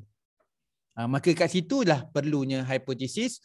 Objek, uh, problem statement nombor dua tak perlu sebab yang tu adalah kualitatif. Problem statement nombor satu adalah deskriptif. So deskriptif yang identify tadi. So yang tu pun tak perlu hipotesis. Yang ini pun menarik soalan ni. Soalan ni memang kerap. Uh, ni memang uh, bila kita kita buat PhD, basically you all faham tapi tiba-tiba you pening. Kan basically ramai orang suka buat PhD, objektif nombor satu tu memang simple je. Uh, objektif nombor satu tu deskriptif je. Jadi tak perlulah hipotesis. Uh, baru uh, start pada objektif nombor dua, baru start ada hipotesis. Faham. Thank you, Doktor. Sama-sama. Kadang kita risau kan, jadi alamak, ni mana anak panah dia kan? Uh, sebab untuk nombor satu, dua, tiga, empat ni tidak perlukan hipotesis. Boleh jadi dia kualitatif research ataupun deskriptif research. Descriptive research macamlah kita kira kan berapa bilangan uh, pelajar sebab, lelaki, sebab saya punya research pun more to quali. Jadi ha. kadang kita bila kita dengar ni kita rasa uh, risaulah kan takut hmm. kat sini ada kesalahan ke apa yang akan involve kepada uh, kes, kes, kesilapan kita menulis nanti. Jadi memang kalau kuali memang tak ada hypothesis testing lah. Kita ada kalau baca buku you baca tiba-tiba baca buku kualitatif macam saya ada saya pernah sebut dekat student ialah kita nak bagi dia faham kan? Oh kualitatif tak ada hipotesis tiba-tiba dia WhatsApp saya saya baca buku kualitatif disebut pasal hipotesis. Ah, betul lah mak, tersalah cakap. Waktu saya explain panjang sikit lah. Saya kata dalam kualitatif ada hipotesis tapi kita tak testing, tak uji pun. Ah, bila tak uji, kita tak perlu letak dalam bab satu atau bab dua. Dalam kualitatif dipanggil generating hypothesis. Ah, betul dia kata, ah, betul. Keyword dia generating, generate hypothesis. Bukan testing hypothesis. Ah, saya kata saya mohon maaf lah sebab saya tak explain benda tu. Saya, dalam niat saya nak mudah faham Oh, kualitatif tak ada hipotesis. Nak bagi dia senang faham. Ha, ternyata bila dia baca buku, dia jumpa pula ha, kata hipotesis dalam buku teks kualitatif research. Ha, okay. Inference tu yang macam tadi, uh, bila kita nak tengok hubungan, contoh ada sini kan, ini nak cerita lah kan, mungkin kita kita santai. Okay, dalam research ada dua, iaitu biasanya kita gunakan survey dan juga experimental. Okay, biasanya dalam eksperimental nak tengok perkara contoh sebelum buat dan selepas buat. Ha, iaitu dengan pre and post. So biasanya pre and post nak tengok perbezaan. Ha, jadi inference boleh digunakan untuk melihat perbezaan. Okay. Apa lagi kita boleh tengok? Kita boleh tengok dari segi keberkesanan. Ha, daripada uh, grup yang buat dengan grup yang tak buat. Okay. Kumpulan A tak buat eksperimen, kumpulan B buat eksperimen. Ha, adakah dengan melaksanakan eksperimen tu dia lebih berkesan dengan kumpulan yang tak buat eksperimen? Ha, apa lagi boleh buat? Tengok hubungan. Ha, hubungan gunakan survey. Kita ada soal sidik. Nak tengok hubungan antara A dan B. Itu inference. Okay, nak tengok influence, pengaruh. Apa lagi? Nak tengok kesan. Kesan langsung, kesan tidak langsung. Itu semua. Sebab apa? Inference tu menyebabkan pengujian. Bila pengujian perlunya hipotesis. Lawan dia, inference versus deskriptif. Deskriptif tak perlu hipotesis. Sebab dia tidak ada nak bandingkan mana yang lebih okey sebelum selepas ke antara kumpulan A dengan kumpulan B ke antara faktor A ke faktor B dia tak ada. Dia tak tengok associate pun. Sekadar nak tengok okey faktor A ni berapa nilai mean dia. Faktor B ni berapa nilai mean dia. Kata dah lima faktor. Dah ada dah nilai mean dia. Mana nilai mean yang tertinggi? Dia nak ranking kan. Biasa kita gunakan tahap. Untuk mengenal pasti tahap mana yang tinggi dan rendah. Yang itu semua deskriptif. Jadi kita tak panggil dia inference dan dia tak perlu hipotesis. Dapat tak penerangan saya tu? Ah, okay, alright eh. Itu bahasa saya lah kan. Kalau you baca dalam buku nanti mungkin lain sikit maksud dia lah. Tapi uh, kefahaman tu sama. Ha, kan? Basically lah dalam orang buat kuantitatif, kalau untuk level postgrad, master dengan PhD, mostly supervisor ataupun penilai nak hipotesis lah. Ha, bukan bukan pada semua tapi kena ada hipotesis. Ha, kalau tak ada hipotesis maksudnya kurang satu lah. Sebab memang falsafah dalam kuantitatif dia dia dia mesti ada. Itu beza dia itu bezakan kuali dan kuanti dengan hipotesis. Jadi ada orang tanya, wajib ke kuantitatif kena ada buat hipotesis? Saya boleh jawab, ya. Ha, ini untuk yang social science eh. Ha, jangan kata yang bidang, pure science. Pure science dia lain, lain sikit nature dia. Dia tak pakai falsafah tu. Ha, kalau baca buku dalam apa, buku engineering research, dia tak ceritalah pasal testing hypothesis tu. Ha, kan? Jadi dia lebih bentuk scientific. Ha, jadi yang tu tak apa. Tapi kalau bidang social science, kalau sebut kuantitatif adalah wajar kena ada hipotesis sebab kita memang kena test teori. Macam mana nak test teori dengan kita test hipotesis. Kita tak test teori secara langsung. Membuktikan kita sedang melakukan testing teori dengan diwakilkan hipotesis. Nah, itu namanya adalah ujian hipotesis. Kita testing hipotesis bermakna kita sedang uji teori itu. Itu je. Orang kuantitatif memang nak uji teori je. Nak uji pengetahuan. Pengetahuan dah jelas. Semua orang dah buat. Inilah rupa dia, inilah teori dia, inilah faktor dia, inilah boleh ubah dia. Ha, saya cuma nak test dekat Malaysia dengan menggunakan sampel-sampel tertentu. Membuktikan betul lah dapatan yang kita dapat ni selari dengan uh, teori dan kajian-kajian lepas ataupun bercanggah. Ha, jadi kita kita kena uji hipotesis tu untuk membuktikan bahawa teori itu masih lagi relevan ataupun tidak. Tu bahasa saya lah relevan atau tidak. Ha, kalau kalau kalau nak bagi mudah faham lah. Maksudnya kalau dapat dapatan yang bertentangan, uh, uh, teori yang yang kita sedang uji tu sama ada dia tidak sesuai dalam kajian kita ataupun ada kekurangan yang berlaku kepada teori itu. Sama ada teori itu kurang ataupun proses kita. Ada setengah orang suruh salahkan teori. Bila saya cek teori dia, okey bukan salah teori. Eh. Research ini memang ada kelemahan. Ha, dengan cara you pilih sampling, macam mana you bangunkan soal sidik uh, yang tu punca kenapa you tak dapat result yang menempati teori. Uh, kadang-kadang kita buat judgement mengatakan teori ni salah tapi kadang-kadang kita perhalusi uh, proses penyelidikan dia yang salah. Uh, dia kata okay sampling dah you dah out dah. Uh, teknik sampling. Kalau kita tengok previous research yang mengkaji tentang teori ini dia orang tak guna pun teknik sampling ni. Jadi you dah menggunakan kelainan dalam teknik sampling jadi ini adalah kesan yang kita boleh laporkan bahawa salah satu faktor kenapa you dapat dapatan yang bertentangan kerana you menggunakan sampling yang different. Kalau menengok kepada kajian lepas yang menggunakan teori ini. Ha, jadi kita memang sebab tu kena review. Tu tujuan dia. You kena buat literature review untuk objektif nombor satu.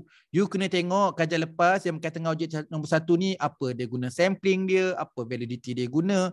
Jadi kita nak kena faham nak buat extension boleh. Tapi kita kena faham proses. Ada part yang kadang-kadang bila kita ubah proses sebelumnya dia akan mengganggu dapatan kita. Ha, jadi kalau tanya saya memang ada kalau dengan student saya memang dia buat saya tunjuk. Ha, saya dah tahu dah. Tahu tak macam mana nak bagi adjust significance? Buang sampel. Ha, dia terkejut. Kenapa? Dah you punya soal sidik ni you main bagi je kat semua cikgu betul tak? Ha, saya bagi kat semua. Termasuk cikgu yang baru yang kurang 3 tahun. Ha, okay. ada tak tulis pengalaman dia orang? Ada Cuba buang yang cikgu yang pengalaman kurang dari 3 tahun ke 5 tahun. Saya lupa lah. Dia buang. Lepas tu dia run balik. Signifikan. Nampak tak? You, you baca tak artikel ni? You, sorry, you baca tak topik ni? Faktor yang you nak guna ni untuk guru yang berpengalaman je. Oh, dia pun oh panjang. Jadi apa je itu dia dalam literature review?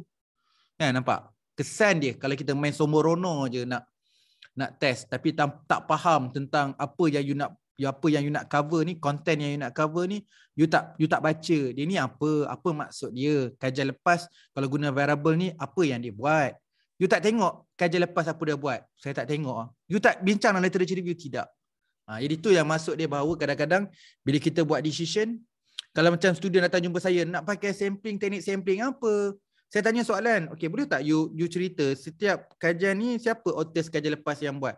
Boleh tak beritahu sampling apa nak buat? Masing-masing tak ada jawapan. Contoh kan.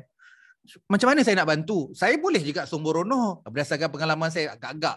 Tapi tak best. Agak-agak tu tak kena. Sebab kita kita kita tak tahu research lepas buat apa. Ha, sekongkong kalau research lepas buat apa dan kita boleh, okay, kalau research lepas kita nampak trend, semua guna benda yang sama. Kenapa kita nak buat benda yang biasa?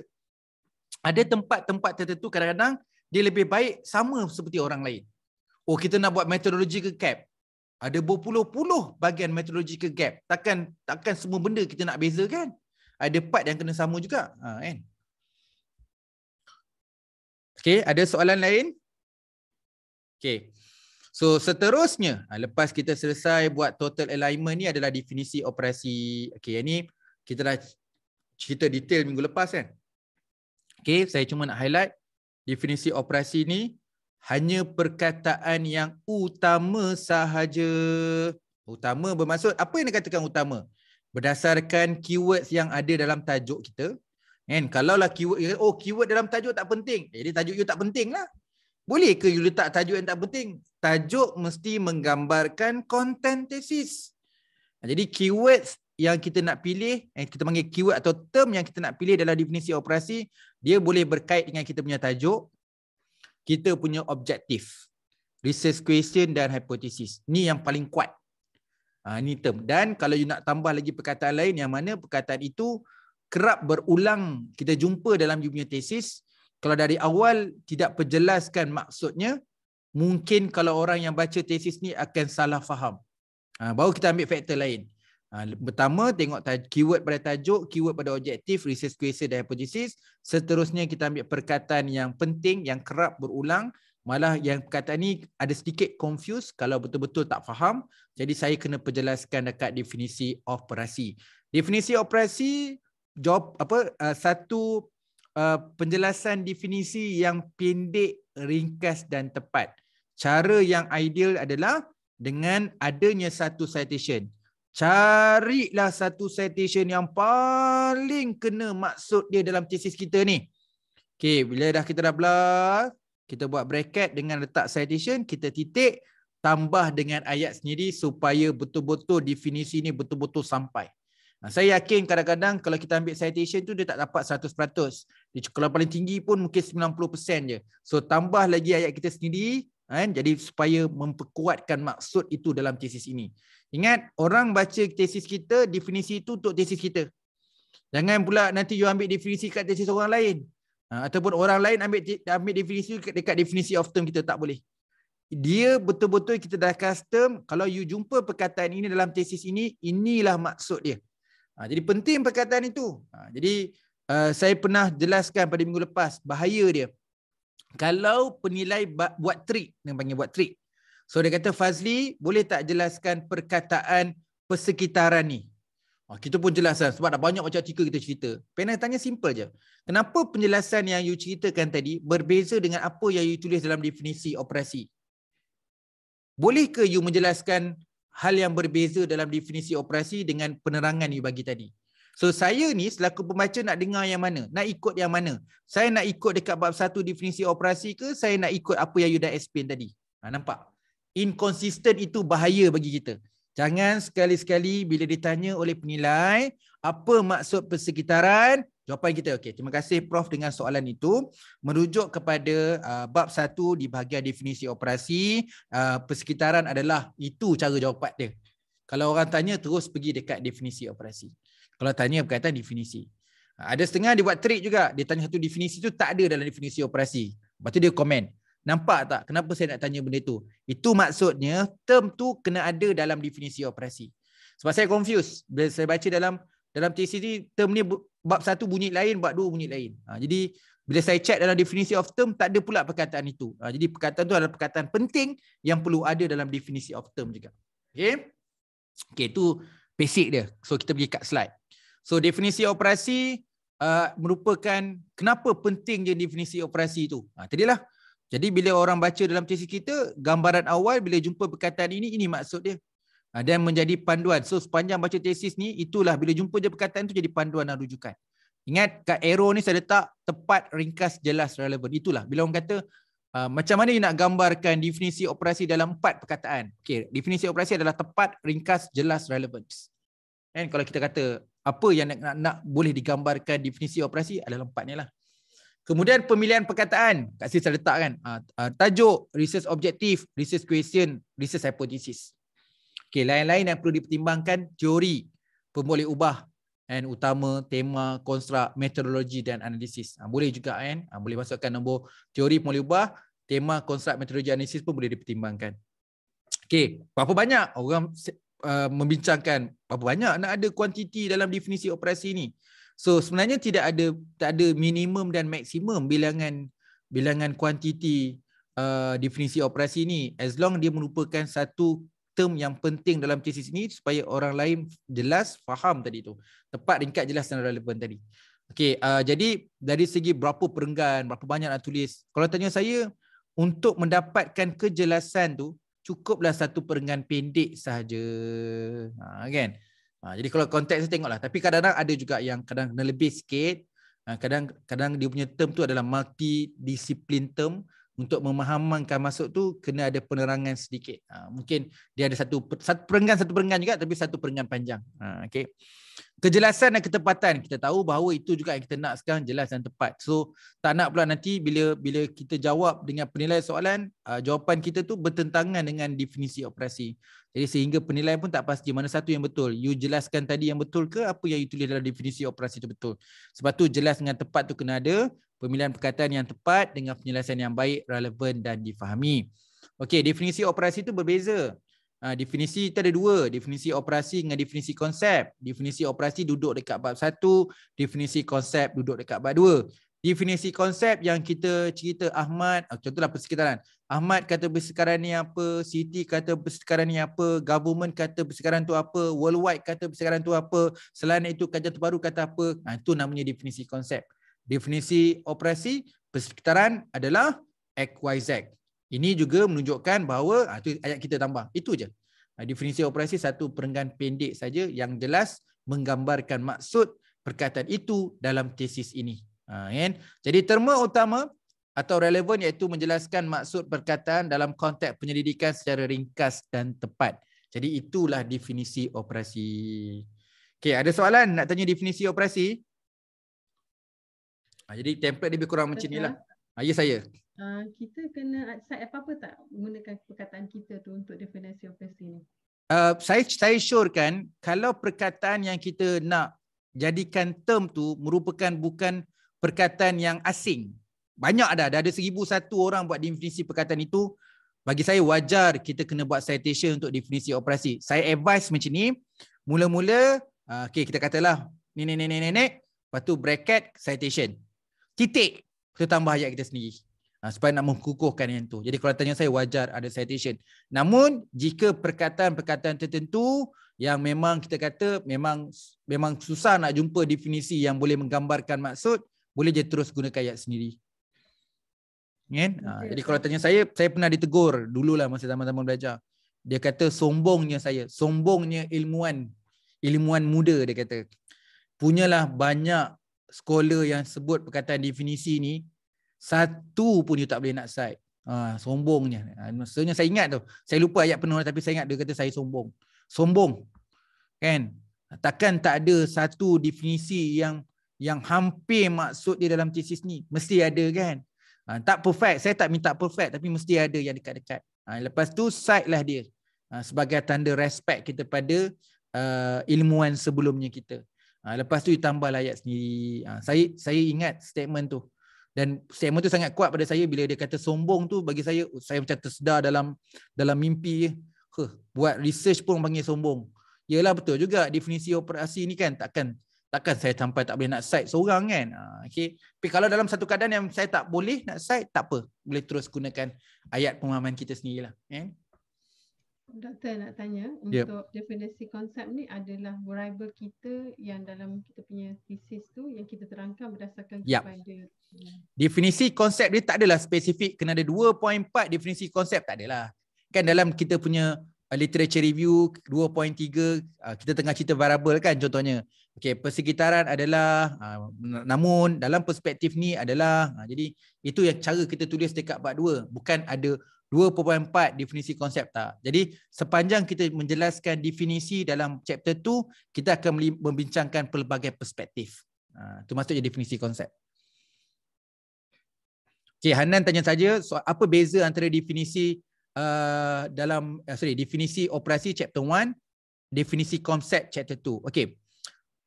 Saya bagi yang kompleks dulu.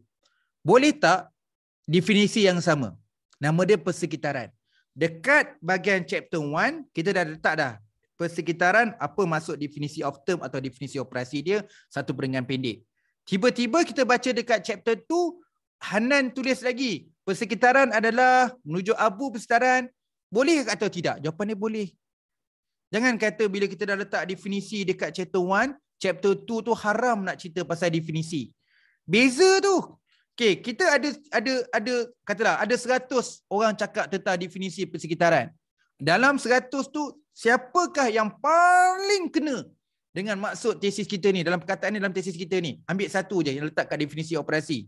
Ah, dekat chapter tu nanti ceritalah yang lain-lain termasuk dengan yang kita pilih dekat definisi operasi tadi. Ah tu beza je definisi term dengan definisi konsep. Definisi term dekat bab 1, definisi konsep dekat bab 2.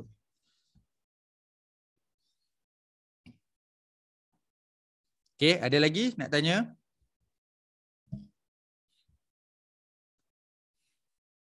Okay, basically yang dekat template ni, uh, yang paling penting sebenarnya you kena bincang dengan supervisor, you keluarkan term dulu. Uh, kan, keluarkan term-term tu, nanti beritahu lah term ni sebab ini variable kita, uh, ni keyword yang ada dalam objektif, letaklah. Uh, lepas supervisor kata okay, okay, second section, baru kita buat satu definisi mudah. Uh, lepas tu nanti tunjuk kat supervisor. Uh, kan? Tapi benda ni uh, ingat sebelum submit full thesis. Uh, full thesis nak submit tu double check balik. Mungkin pemahaman kita masa SEM 1 dengan pemahaman kita masa SEM 5 mungkin berbeza. Uh, jangan dah buat sekali definisi operasi sampai tak tak, tak nak tengok dah.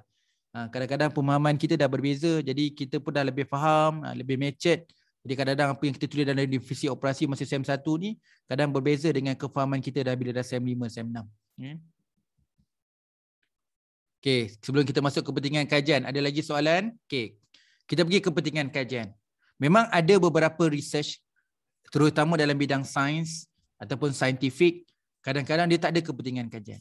Kadang-kadang tak ada limitasi kajian.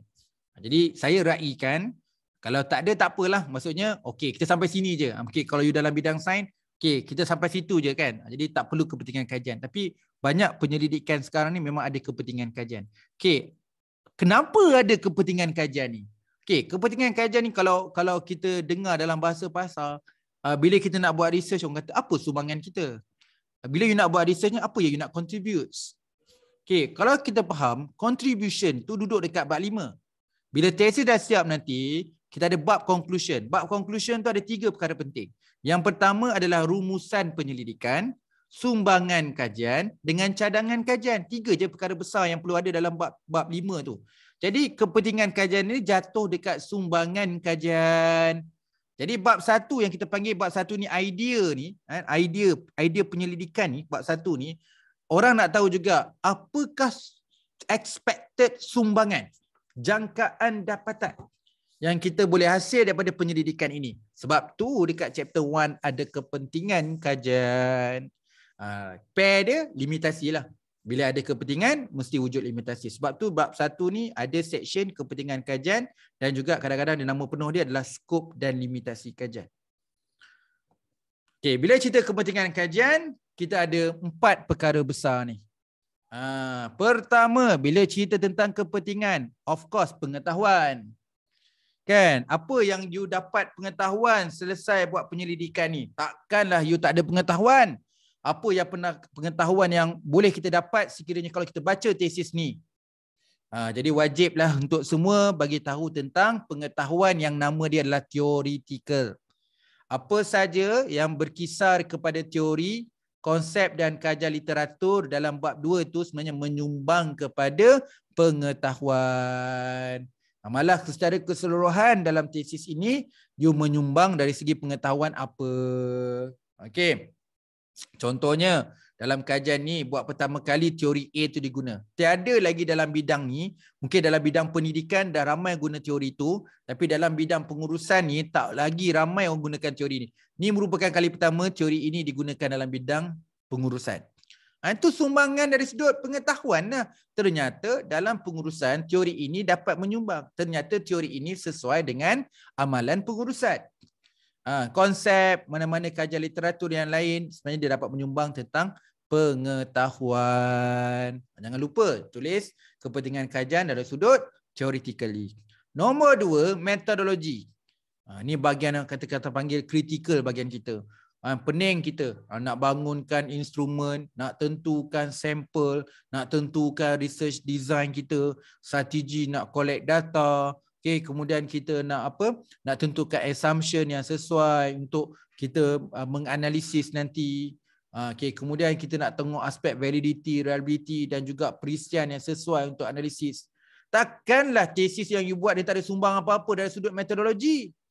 Uh, metodologi ni maksudnya daripada 3.2, 3.3, 3.4, 3.5 takkan takkan you tak boleh nak bagi satu sumbangan kepada penyelidik akan datang dalam bidang kita ni apa yang dia boleh belajar daripada metodologi kita ni mestilah ada sumbangan metodologi ha, dalam kajian ni saya ada extend buat mediating ha, tu sumbangan metodologi lah kajian ini uh, tiada lagi kajian yang buat kajian penuh di Malaysia kajian sebelum ni buat satu negeri saja itu pun sumbangan metodologi lah Okay, kajian ini uh, menggunakan non-probability sampling. Biasa orang guna secara rawak. Kan? Gunakan stratified random sampling. Uh, orang gunakan systematic random sampling. Cluster sampling. Tapi kita guna kat sini adalah kotak. Kota sampling. Jadi penggunaan kota sampling itu berbeza dengan kajian-kajian sebelum ini. Itu pun sumbangan juga. Kan? Orang kajian lain sebelum ni buat proses validity itu cuma pakai dua je. Tapi you pakai enam jenis validity dalam kajian ini. Itu sumbangan metodologi lah. Okey, kemudian yang ketiga adalah dari sudut empirical. Kita ada berapa objektif tadi? Kita ada empat objektif. Empat objektif ni, apa sumbangan apa sumbangan dia? Sumbangan menjurus kepada dapatan kajian dipanggil empirical. Okey. Itu sumbangan empirical merujuk kepada kita punya spesifik. Kalau kuantitatif dia ada hypothesis, research question, objektif lah. Tiga tu lah. And, ha, jadi yang last sekali adalah sumbangan kita dari segi Uh, practically. Okay, practically ada dua. Yang pertama adalah fundamental. Kalau ada. Ada sekarang ni dah ramai orang buat research. Ada model lah, modul lah, kerangka lah, guideline lah. So dia dapat menghasilkan sesuatu. Itu fundamental. Paling tidak pun practically ni namanya berimpak. Bila berimpak, kajian ini dapat beri sumbangan kepada kerajaan. Kajian ini dapat beri sumbangan kepada industri. Kajian ini dapat menyumbang kepada konsultan. Kajian dapat menyumbang kepada masyarakat, komuniti dan juga akademia. Itu juga dipanggil sebagai practically. Okay. Asas tu ada tak antara empat ni boleh tak? Ada siapa-siapa yang tak jelas lagi empat konsep empat ni? Theoretical, methodological, empirical and practically. Okay, minggu lepas untuk kohort saya dah jelaskan contoh kan. Saya dah tunjuk dalam slide. Saya minta you refer balik, sambung lagi refer. Tengok tesis-tesis lepas macam mana dia tulis sumbangan dari sudut teori, sumbangan dari sudut method, sumbangan dari segi empirical, sumbangan dari segi practical. Basically research banyak orang cerita theoretical dengan practical je kan. Terlepas pandang nak cerita methodological dengan empirical.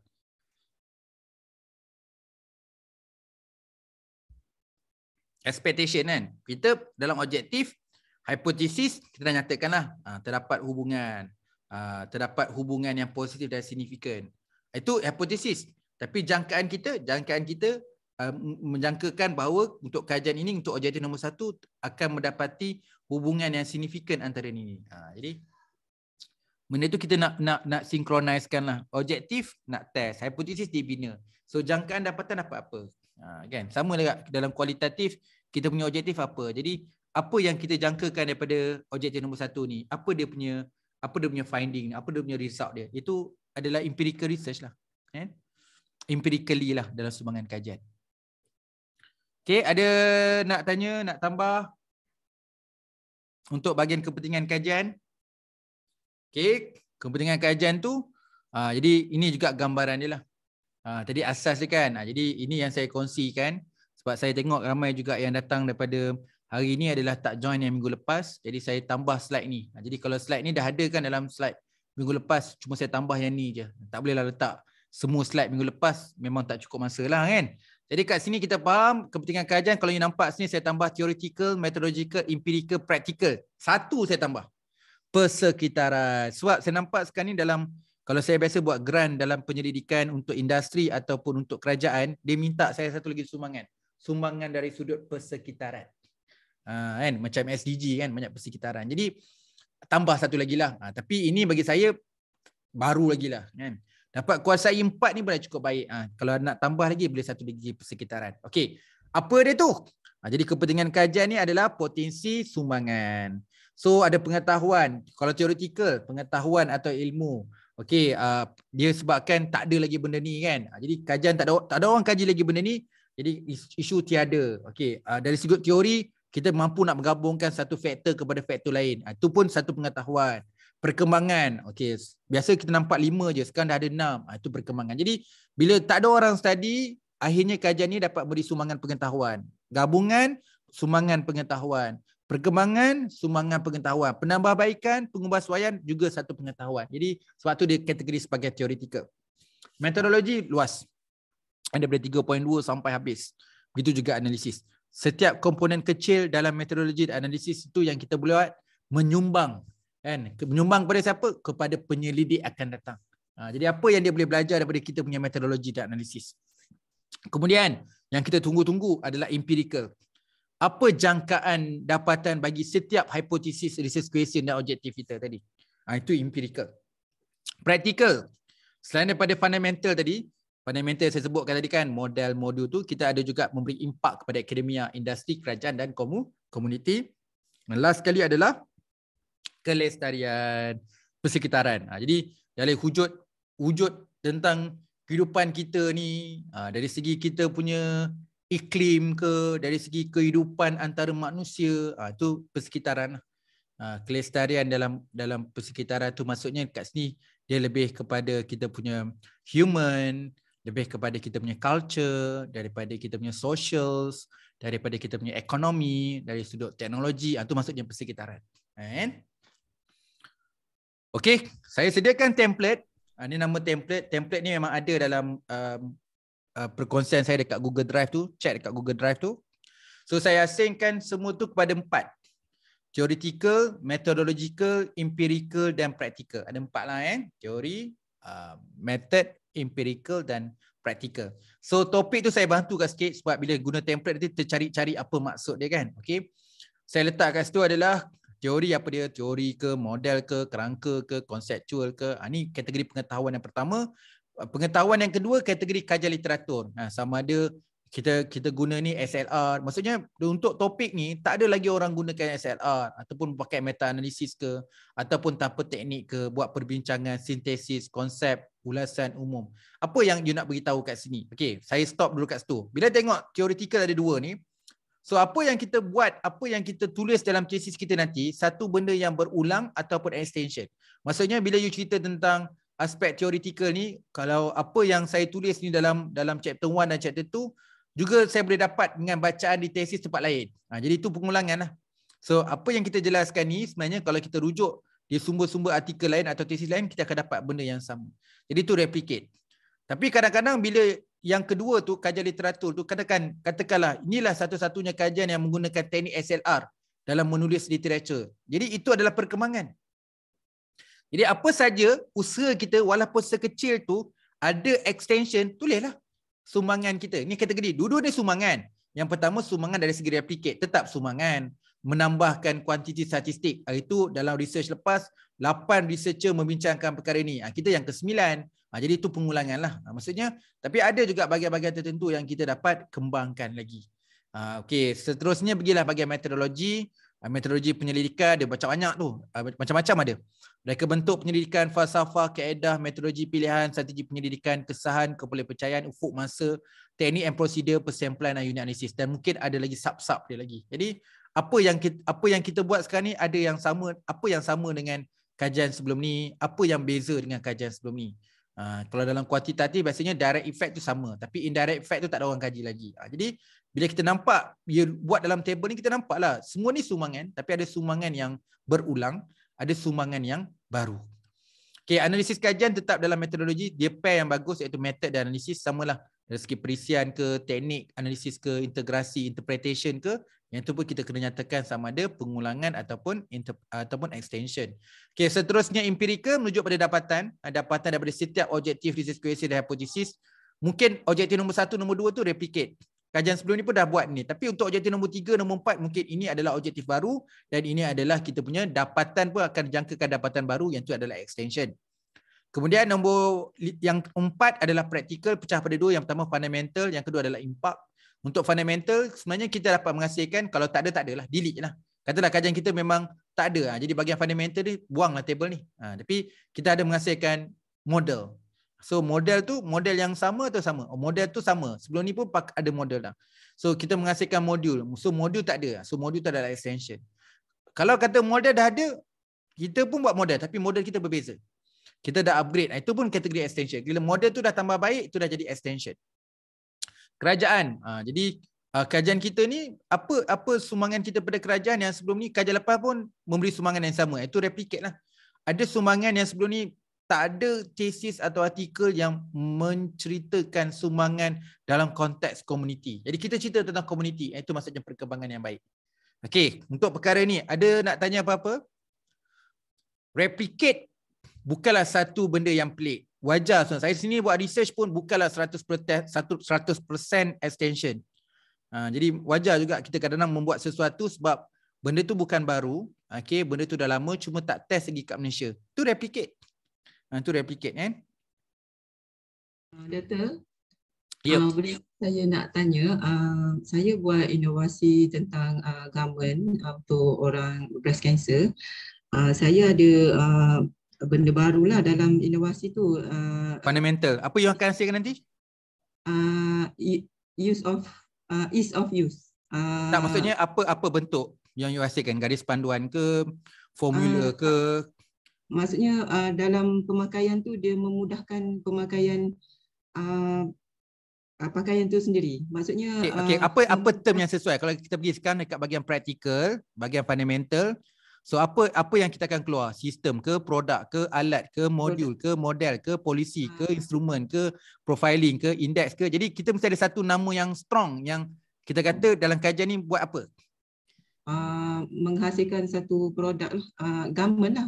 Maksudnya produk lah tu. Ha, Kan? produk lah. Ha, produk lah. Jadi you kena sebut produk lah. Ha, Uh, cuma maksudnya masuk dekat uh, uh, fundamental lah. tak tak dekat practical.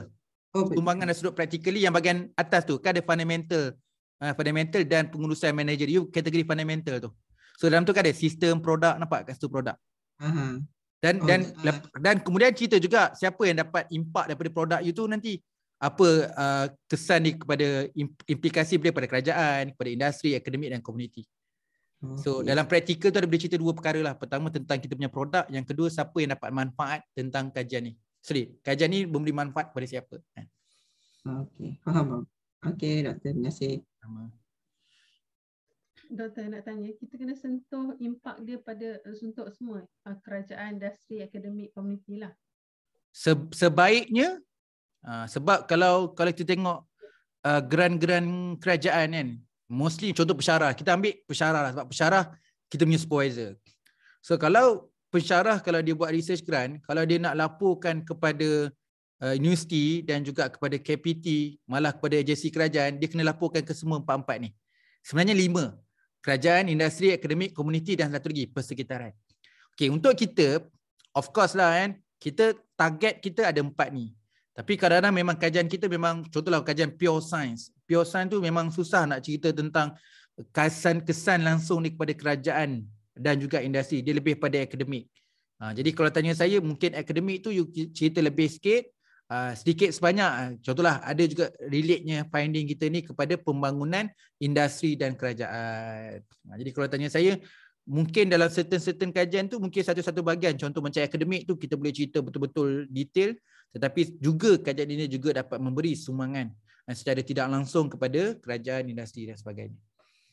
Jadi saya cuma nak buat template ni supaya you boleh bayangkan apa uh, sumbangan kita kat kerajaan. Ah uh, lah.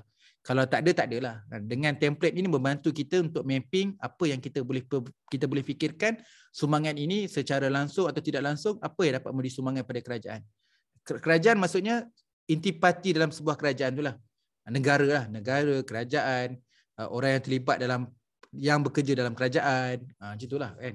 Kalau industrial ni kita boleh kata selain daripada kerajaan lah. Uh, swasta kan? Yang banyak generate dekat bahagian ekonomi teknologi. So tu dekat industri lah kan uh, kalau tak kalau betul-betul tak kena dan memang tak ada tak payahlah uh, tapi yang yang saya buat ni sebagai guide untuk kita menulis apa yang nak tulis dalam bahagian kepentingan kajian Okay, ada soalan lain? Okay, sama. And ingat eh ada empat ni. Uh, theoretical, methodological, empirical and practical.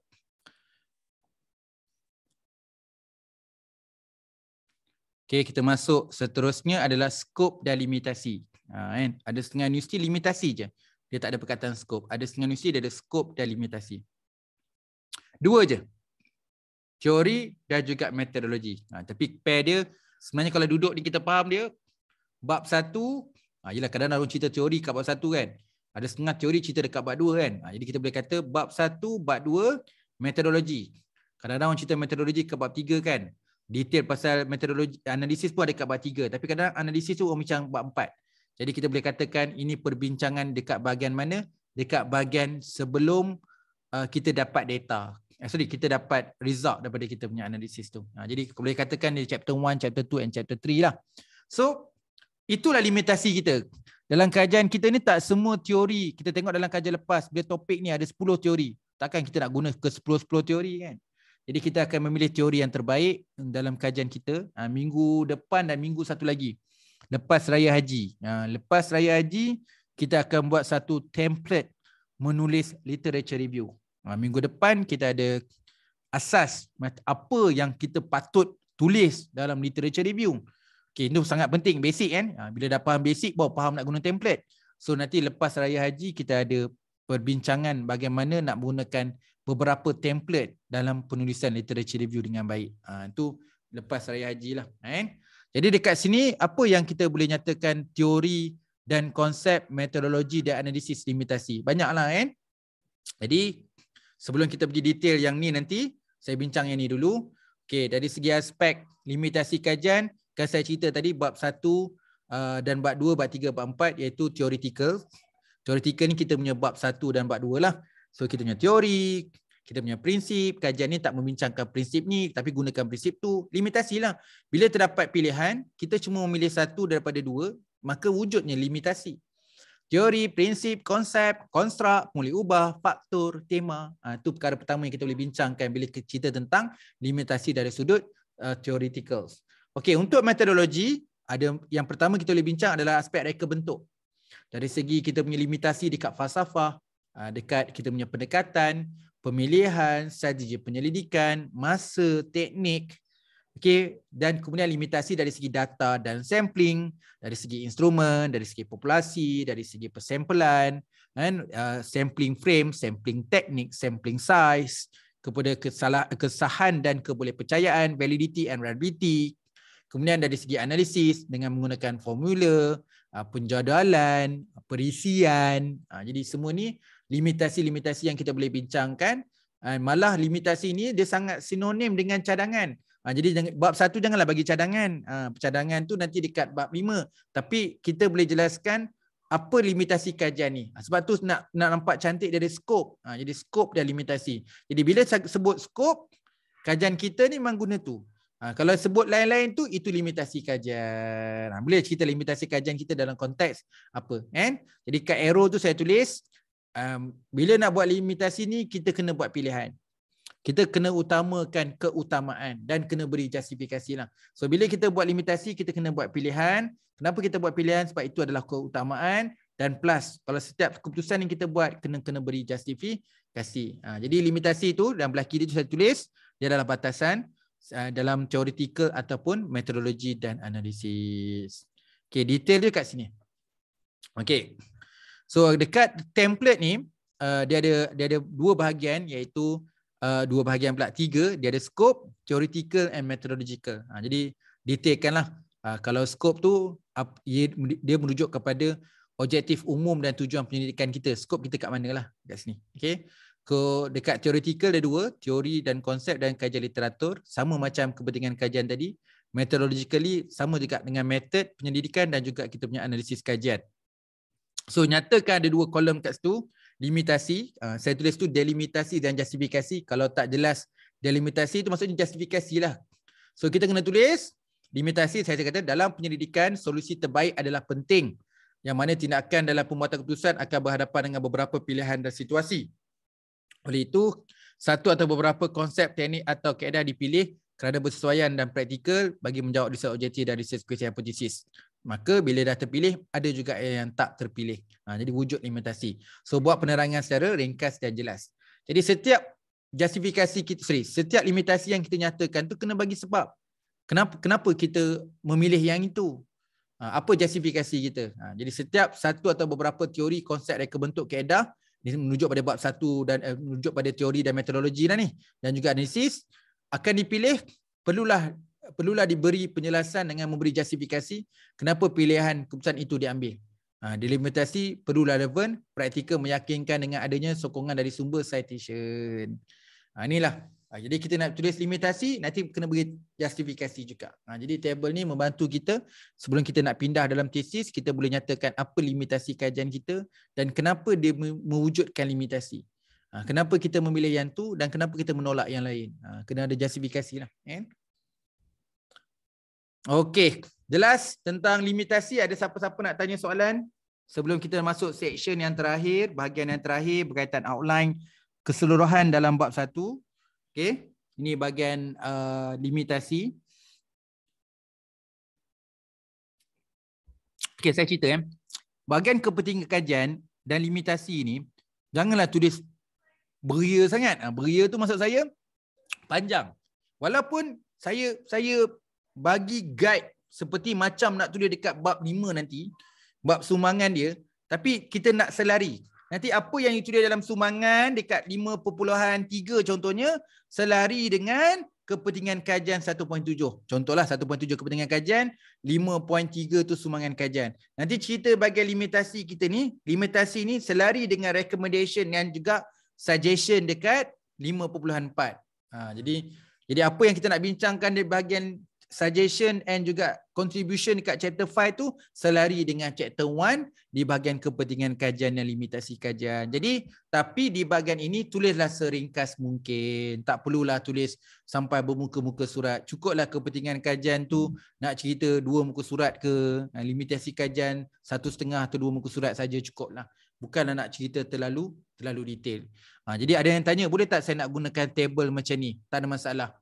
Ha, tapi kadang tengoklah kadang-kadang supervisor kadang-kadang uh, bila you buat table you kena buat penerangan juga kat bawah. Ha, kan? Jadi banyaknya table ni buat table yang ringkas je point-point je tapi kita perlu ada penjelasan yang detail dalam dalam perenggan. Ha, kan?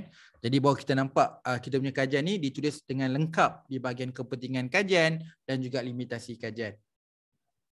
Okey. Ada soalan nak tanya? Doktor, ah, macam yes. macam Wan kan belum lagi di pen proposal kan. Okay. Uh, kalau uh, kata tadi apa doktor kata uh, kajian dapatan eh uh, implikasi tadi kan, implikasi tu kalau jangkaan uh, nama dia. Ah uh, dapatan eh, kira uh, jangkaan untuk output lah kan? Yep, yep. Ni jangkaan. Sebab tu ke- kepentingan kajian ni nama dia jangkaan kita belum da- kita belum dapat result lagi. Jadi ha. ini jangkaan. Ha. jangkaan. Jadi perlu kena, masukkan tak doktor? Kena masukkan. Memang kalau dalam tesis kan ada ada section kepentingan kajian. Okey okey. Ha, jadi ini jangkaan. Sebab tu saya kata janganlah kita tulis beria sangat kan. Sebab finding tak ada lagi. Tapi kita boleh menjangka apa kita secara positif lah kat sini. Secara positifnya Kajian ini dijangkakan dapat memberi sumbangan dari sudut teori, metodologi, empirical dan praktikal. Maka tulislah secara ringkas apakah sumbangan itu dapat dicapai dalam tesis ini. Itu ha, namanya. Kadang-kadang orang tulis expected research.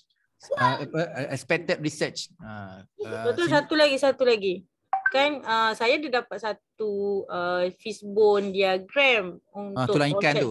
Ha uh, tulang ikan untuk konseptual tu. Jadi dari situ saya tengok dia buat uh, uh, apa? Uh, problem statement lepas tu hmm. dia buat uh, research objektif lepas tu hmm. dia cari dia tanya dia tulis kat situ scope tapi saya tak faham scope tu dia buat scope uh, yang uh, macam mana yang masukkan dia scope dekat Uh, tapi dia refer balik ke research objektif. Itulah nampak dia saya tulis skop skop kajian ha. dari sudut ha. objektif umum dan tujuan penyelidikan lah. Maksud dia apa yang kita akan buat. Ha, dia bahasa dia lah. Dia sebab tu dia duduk dekat skop dan limitasi dia duduk pair. Skop tulis apa yang kita buat, limitasi kita beritahu apa yang kita tak buat. Ha, jadi dalam fishbone diagram tu memang you cerita pasal skop je kan. Maksudnya you beritahu apa yang you akan buat. Uh, dalam mencapai objektif tu apa yang you kena buat. Uh, kan? Uh, cuma skop ni kadang-kadang kena faham lah. Kalau tanya saya skop ni merujuk kepada teoretikal ke skop merujuk pada metodologi. Kalau skop pada teoretikal, kita ceritalah dalam kajian ni menggunakan teori X, Y je. Kalau sudut dalam metodologi, kajian ni menggunakan kuantitatif apa. Nah, itulah.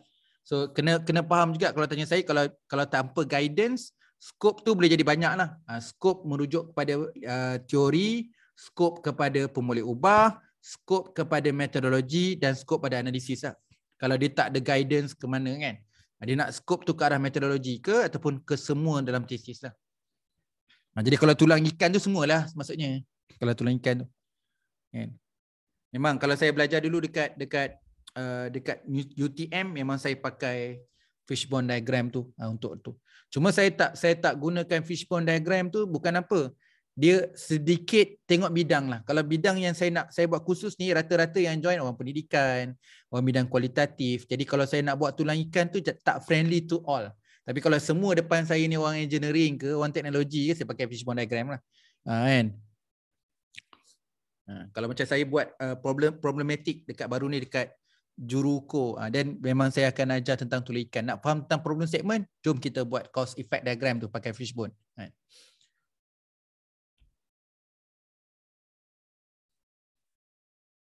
Okay, ada soalan? Ha, eh? Jadi boleh kalau skop tu positif, apa yang kita buat kontras kepada limitasi lah. So limitasi menyebut apa yang mungkin bila bila orang tengok je tajuk kita ni dia dah agak dia dah rasa dah mesti nak pakai yang ni. Tiba-tiba tengok dalam tesis kita eh tak buat. Ha tu maksudnya uh, apa sebut limitasi ni memang banyaklah ada seribu satu. Cari possible limitasi yang kalau kalau kita ada lebih waktu, kalau kita ada lebih tenaga, lebih kewangan, apa yang kita akan buat. Ha, tapi kita tak mampu nak buat yang tu sebab kita ada limitasi. Ha, jadi kena juga memilih limitasi yang betul-betul potensial limitasi lah. Bukan menyenaraikan semua limitasi. Ha, ibarat macam macam sekadar nak tulis apa yang tak buat. Ha, jadi kita kita menulis sesuatu yang mungkin uh, bila penilai ataupun supervisor akan merasakan ketidakcukupan dalam kajian ini. Tapi itulah research. Kita wujudnya limitasi dalam dalam sebuah penyelidikan eh Okey, outline dan senarai semak. Ha, ini contoh adalah. Kan? Ha, yang ni kena ikut format universiti lah. Ini andaian. Andaian kita ada 1.1 sampai 1.11. Kita ada introduction. Biasanya introduction tak ada subsection kan. Kita satu je 1.1. Research background, saya dah jumpa dah ada yang buat subsection. Mungkin ada 1.2.1 terpulang. Kalau saya, kalau student saya, saya tak nak. Saya nak cukup satu je. Tak payah ada subsection problem statement okay saya jumpa yang itu yang minggu lepas present dalam cohort 19 pun ada yang pecahkan problem statement tu ada beberapa section dan ada subsection terpulang ikut format masing-masing. Kemudian research objektif dengan Dayan saya ada empat objektif research question saya ada lima research hypothesis saya ada enam sebab tu saya letak 1.41 1.42 okey kemudian ada definisi operation kat sini saya letak tiga je lah bukan tiga je boleh banyak. Ha, ini nak sebab nak muatkan dalam satu satu apa satu slide je kan. Jadi kita ada significant of the study, kita ada empat kan. Kita ada significant of the study untuk uh, methodological, sorry, uh, untuk theoretical method, empirical and practical. So kita ada scope and limitasi. Mungkin 1.91 nak cerita scope, limitasi theoretical 1.92, and limitasi dari sudut methodological and analysis ikat 1.93. 1.10 adalah thesis structure. Uh, thesis structure dia terpulang, ada setengah universiti tak perlu. Macam UPSI tak perlu. Uh, jadi kita terus kepada yang terakhir adalah conclusion. Jadi nak jadikan checklist tu so ada tanda right dengan pangkah. So mana yang dah buat tu kita tanda right lah. Okay. Kemudian kita letaklah berapa muka surat yang kita dah buat untuk bahagian start section ni. Ataupun kita boleh main color lah. Kalau tak guna. Saya kalau kat industri saya guna color. Kalau complete hijau. Eh, kalau in progress uh, kuning. Kalau tak buat langsung dia merah. Uh, jadi kita boleh tengoklah progress you macam mana kan. Ataupun nak main peratus, convert peratus. So mana yang dah siap 100%, mana yang 70%, mana yang 60% pun boleh. Ha, itu cara monitoring lah. So bagian bab satu macam ni. Jadi bila kita jumpa dengan supervisor, jadi supervisor tengok kita nak buat, okay macam mana progress bab satu, kita boleh tunjuk yang ni. Oh nampak ada masalah ke dekat bahagian signifikan dan juga limitasi ni? Tengok progress sikit je. Ha, ni yang, yang ni yang saya datang nak jumpa ni, nak tanya macam mana nak buat uh, cerita tentang kepentingan kajian dan juga limitasi kajian. Ha, jadi at least bila you dengan supervisor ada benda-benda macam ni uh, memudahkanlah komunikasi uh, dan dia pun senang nak mantau progress kita dan sebagainya uh, kan Okay, uh, ini contoh bila saya dah isi lah. Uh, lebih kurang lebih kurang macam ni lah kan. Uh, kita ada introduction, research background, problem statement, research objective. So ada empat objektif, ada lima research question, ada enam research position. Saya letaklah A, B, C, D. A AA, BA, CA, DA, DB tu. Ha, maksudnya untuk objektif nombor yang keempat D tu ada dua research question. Sebab tu dia DA, DB. Okay, untuk research hypothesis, A dan B tak ada tak ada hypothesis. Dia ada C dengan C dengan D je ada hypothesis. Sebab tu ada CCA, CCB, CCC, C, DA, DAA, DBAB dengan DAC. Ha, kemudian definisi operasi letaklah beberapa kat situ. Kan? Kalau ada 10, 10 lah. Kemudian signifikan ada teori, methodological, empirical and practically. Scope and limitasi, kita ada scope, theoretical limitation dan methodological limitation. So tesis, structure dan conclusion. Ha, jadi ni contoh. Ha, yang ni pun dah ada dalam Google Drive yang saya bagi untuk dapatkan soft copy template ni. Okay.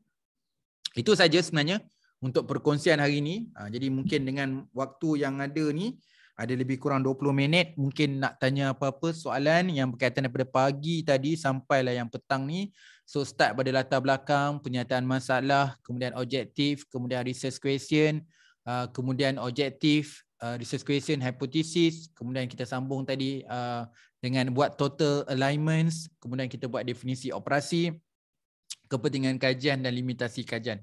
Last kali tutup dengan skop dengan limitasi dan terakhir ni adalah outline dalam bab satu. Nampak macam simple kan tapi sebenarnya bab satu ni jangan risau kita tak akan dapat buat perfect kalau you dah siap bab satu sorry kita dah siap bab dua kita rasa bab satu kita dah dah dah dah boleh diperbaiki dan dimurnikan kita rasa sempurna belum lagi. So bila dah buat bab tiga nanti kita akan ubah dia macam ni tau. Masa kita buat bab satu kita rasa betul. Tapi bila buat literature review baru kita identify susahnya nak cari support literature. Bila last kali kita tak dah tak boleh nak buat benda tu, ni ni wajar tau, bukan tak wajar, ni wajar. Jadi bila kita tak boleh nak buat literature review tu, kita mula fikir. Tak boleh lah nak buat objektif ni. Kita remove nak. Ha, nampak? Kita dah mula. Bukanlah maksudnya lari, tapi memang itulah hakikatnya. Kita remove lah objektif ni. Jadi kita kena buang juga problem statement untuk bahagian tu, kita kena buang juga research background untuk objektif nombor nombor tu. Jadi kita akan berfikir, okey, tapi sepanjang kita buat literature review ni kita boleh tambah satu lagi objektif. Masa boleh replace. Ha, jadi bila replace, dah tukar objektif, structure akan berubah lah. Maka yang paling besar sekali penyataan masalah dan research background akan berubah. Okey, dah cantik dah. Pergi dekat bagian metodologi, fikir balik. Hari tu yang kita replace ni, uh, susahlah nak buat analit, nak buat method dia. Ha, susahlah nak buat analisis. Patah balik lah. Ha, jadi itu yang berlakunya. So bila kita dah buat dekat bagian method, baru sedar. Alamak, kena buat miss method ke? Ha, jadi bila kata miss method, kita kata ini dah kena buat miss method, literature review pun dah kena tukar sikit. Ha, jadi objektif kena betulkan balik. Okay, dah sampai kat method, pergi dekat analisis, tak boleh nak analisis. Ha, kena betulkan balik. Ha, jadi itulah orang kata cabaran. Bila kita buat penyelidikan tu kadang-kadang dia dapat dia terkesan tu kita kita sekarang kita tak nampak. So kita bila jalani setiap bab tu baru kita nampak cabaran dan halangan dia. Ha, jadi bab satu tu tak akan dapat kesempurnaan sehingga tesis kita dah siap. Ha, kan? Jadi relax je. Tidak ada yang perfect di sini. Ha, buat bab bab 3 betulkan balik bab 2, betulkan balik bab 1, ubah bab 2, terubah balik bab 1, bab 3 pun kena setting balik. Sebab tu kalau proposal defense orang nak chapter 1, chapter 2, chapter 3. Orang tak nak chapter 1 je. Ha, sebab dia tahu kalau nak nak menghasilkan satu proposal yang baik, dia kena align between object eh, sorry kena align between chapter 1 chapter 2 and chapter 3 ha, jadi sebab tu yang kita nak kita nakkan ketiga-tiga chapter tu dalam proposal defense kalau saya lah saya memang nak tiga chapter tu ha, tetapi saya tak menghitung berapa muka surat. Kalau tiga chapter tu 25 muka surat proposal defense lah? Saya tak tidak menghitungkan jumlah muka surat tapi saya nak ketiga-tiga section tu uh, kalau boleh section yang yang basically dalam chapter 1 apa section tu ada chapter 2 apa yang critical yang kena ada chapter 2 kena ada chapter 3 kena ada.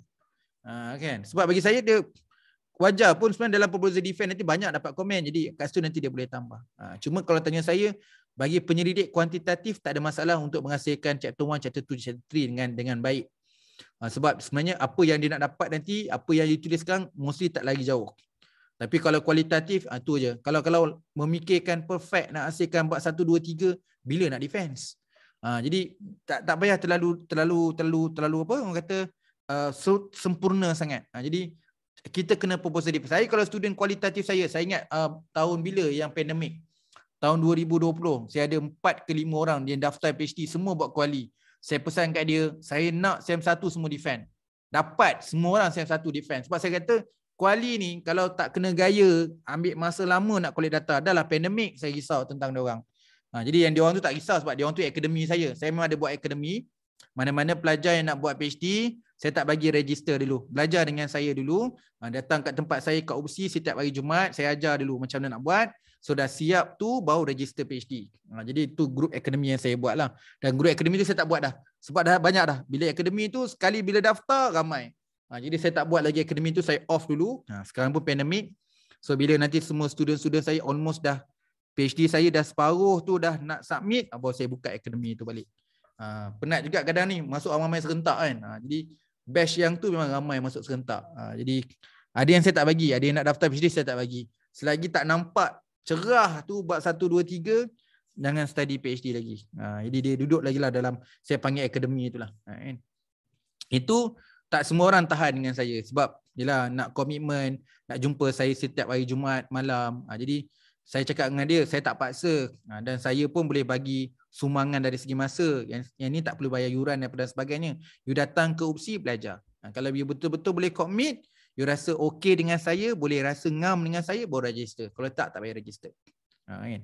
Ternyata lepas tu ramai. Ha, yang ni ramai yang betul-betul betul-betul yang komit lah. Yang sanggup datang daripada Johor, yang sanggup datang daripada uh, yang jauh tu apa kan? Pahang, area Pahang, which Kuantan ke mana saya lupa dah. Datang every week macam yang perak-perak tak ada masalah lah. Yang jauh-jauh tu. Ha, kan? Ha, saya kata itu itu antara komitmen yang you kena salurkan lah. Sebab bagi saya untuk mencapai satu kejayaan tu kena ada usaha sebelum. Macam ni kohort. Kohort ni memang yang yang yang ramai antara kita dah dah dah dah, dah start SEM 3, SEM 4 dan sebagainya kan SEM 2. Tapi dalam ramai kita-kita ni, kita kagum dengan orang yang belum register PhD lagi. Beruntungnya belum study PhD lagi dah nampak konsep yang macam ni. Ha, jadi sebenarnya orang yang belum sebenar-benar je konsep ni sebenarnya ni maksudnya kalau universiti smart lah kan kalau universiti tu memikirkan generating dana universiti kan? Uh, dia kena buat kursus. Bagi mana-mana calon master dan PhD wajib kena pergi kursus kena dapatkan sijil ni dulu. Uh, dah dapat sijil ni baru boleh memohon untuk buat master dan PhD uh, bukan apa kita nak pastikan bahawa calon tu bersedia sebelum mendaftar sebagai student master dan PhD uh, jadi tapi tapi jarang kita jumpa universiti buat approach tu. Kalau tanya saya memang kena buat. Uh, supaya kita, kita lecturer selalu mengadu Uh, penat lah, contoh lah ayat dia lah, penat lah student ni eh, basic tak ada. Macam mana boleh daftar PhD metodologi pun tak faham lagi. Uh, jadi uh, benda tu kita nampak, oh ada kena ada buat pre dulu. Uh, kan? Okay. Betul ke ada setengah researcher bermula dulu dengan bab dua? Azlinda, boleh. Boleh. Cuma kalau kita kosong dekat bab satu, tak boleh lah. Kan saya katakan tadi kan, at least kalau dalam slide saya tulis tadi, lima muka surat kan bukan lima muka surat sebenarnya tapi at least you ada problem statement. Bukan perfectnya problem statement tau. You dah ada problem statement you dah ada objektif sikit. Supaya nak gerak dalam literature review. Macam mana you nak mulakan literature review kalau you start dengan zero? At least ada satu perenggan ada satu perenggan ada satu muka surat ke jadilah. At least untuk kita mulakan dengan literature review. Uh, tapi depends pada supervisor. Kalau student saya nak macam tu saya on je saya okay je you you tak boleh kosong. Okay, you cerita kat saya draft satu muka surat ke, point-point ke, bagi saya nampak dulu you punya chapter one tu. Ha, dia nampak kat sini, okay, okay, saya nampak benda ni. It's good kalau you nak start nak start buat literature review. So kita bincang lah. Ingat, bila nak buat literature review ni, tak nak buat kerja dua kali, saya kata dengan dia. So jom kita identify apa keyword-keyword yang kita nak guna. Bila nak buat bab dua, kena dapatkan keywords. Supaya nak dapatkan pencarian artikel secara habis-habisan. Kata dengan dia, bab dua nak pakai macam mana? Nak buat pakai SLR ke nak buat meta analisis? Ha, jadi kena tahulah sebab sebab dia dah ambil jalan yang yang yang bagi saya yang baik sebenarnya. Sebab dia nak buat dalam bab dua, tapi dia kena tahu apa yang nak kena buat dalam bab dua. Ha, bukan kata okey kita nak buat tesis ni turun buat bab dua. Dalam kepala tajuk pun tak nampak lagi. Ah, apa masalah sebenarnya nak buat tajuk ni, apa objektif. Ah, kalau tak ada tu semua, macam mana kita nak buat literature review? Maksudnya sekarang ni membuat literature review without any guide. Maksudnya tak ada tak nampak apa objektif. Ah, susah, kena ada lah kan. Sebab tu kalau tanya saya, Yalah bila bila dalam dalam konsep ni saya letaklah lima muka surat at least. Ha, tapi sebenarnya you dapat less than five page pun tak ada masalah. At least ada something yang kita panggil problem statement dan juga objektif untuk kita mula dan gerakkan kita punya literature review. Okay. Boleh kaitkan terangkan template bab satu dengan cara nak tulis satu hari satu peringkat? Uh, boleh. Ha, tapi sebenarnya yang tu saya dah saya dah rangkumkan template itu dalam bab dua sebenarnya. Sebab bab dua kan kita regress. Jadi perbincangan kita kena synthesize, kena kritik, kena kena kritik, kena kena analyze, kena conclude. So biasanya saya cerita tentang penulisan satu satu hari satu perenggan tu untuk dekat di di di kursus template bab dua nanti. Tapi kalau nak cerita secara umum, di basically ni macam ni. Okay. Bila nak tulis satu perenggan, kita kena tahu dalam satu perenggan tu ada apa. Okey, keperluan dia kena ada fakta. Kan? Kena ada fakta. Fakta boleh pecah dua. Fakta utama dengan fakta sokongan. Dan kalau semua fakta utama bergaduh kita kat perenggan tu. Ha, jadi kita ada banyak perenggan. Setiap perenggan cukup ada satu main fact dia. Ada satu fakta utamanya. Okey, perenggan bawah nanti ada fakta. Jadi untuk menyokong fakta tu kita ada juga citation kita panggil support citation. Okey. Jadi kita tahu dalam satu perenggan kena ada main fact dan kita kena support facts. Okay. Jadi untuk mengimbangi satu perenggan tu, kita kena ada, kita panggil introduction statement. Jadi kita mulakan perenggan tu dengan ada ayat pengenalan dan kita tutup perenggan tu adalah closing statement. Jadi dalam satu perenggan ada pengenalan, ada kalau dalam bahasa Melayu kita sebutlah kan, pengenalan, kita ada fakta tu surat, fakta tersirat dan kita ada conclusion. Jadi untuk uh, ayat bahagian pengenalan tu kalau tak nak buat citation pun tidak mengapa buat dalam konsep ayat general. Nak beritahu perenggan ni apa tema dia. Apa tema perenggan ni? Kita buat satu ayat general. Jangan buat ayat berfakta. Kalau ayat berfakta perlu ada citation.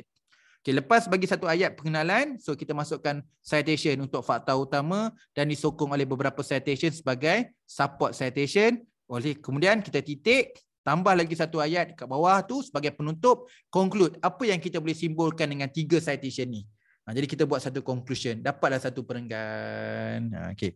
So perenggan tu biasanya banyak lagi kita akan bincang lah sebab nak nak nak buat satu perenggan tu kita kena tahu purpose saya tulis satu penenggan ni tujuan nak tulis problem statement ke, nak tulis bagian pemilihan teori ke, pemilihan pemulih ubah ke, dan dalam menulis literature review menjawab mana-mana bahagian dalam research question ke, research objektif dia, kita kena tahu juga tujuan dia. Ha, jadi bukanlah tulis satu penenggan dia main tulis je. Kita kena tahu saya tulis penenggan hari ni untuk apa? Untuk problem statement ke, untuk latar belakang ke, untuk teori ke.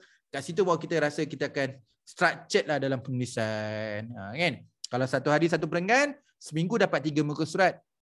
Dan sebulan dapat dua belas muka surat. Sepuluh bulan dapat seratus dua puluh muka surat. Cukuplah dalam setahun kerja sepuluh bulan je. Okay, dua bulan lagi rehat. Ha, kan? Jadi setahun dapat seratus dua puluh muka surat. Banyak tu. Kalau dua tahun dah berapa? Ha, kalau dah seratus, seratus dua puluh, dua tahun dah dua ratus empat puluh. Ha, tiga tahun tiga ratus enam puluh. Tak banyak ke tu? Ha, jadi cukuplah konsisten kerja dalam satu hari satu perenggan. Kita akan dapat hasil yang baik lah.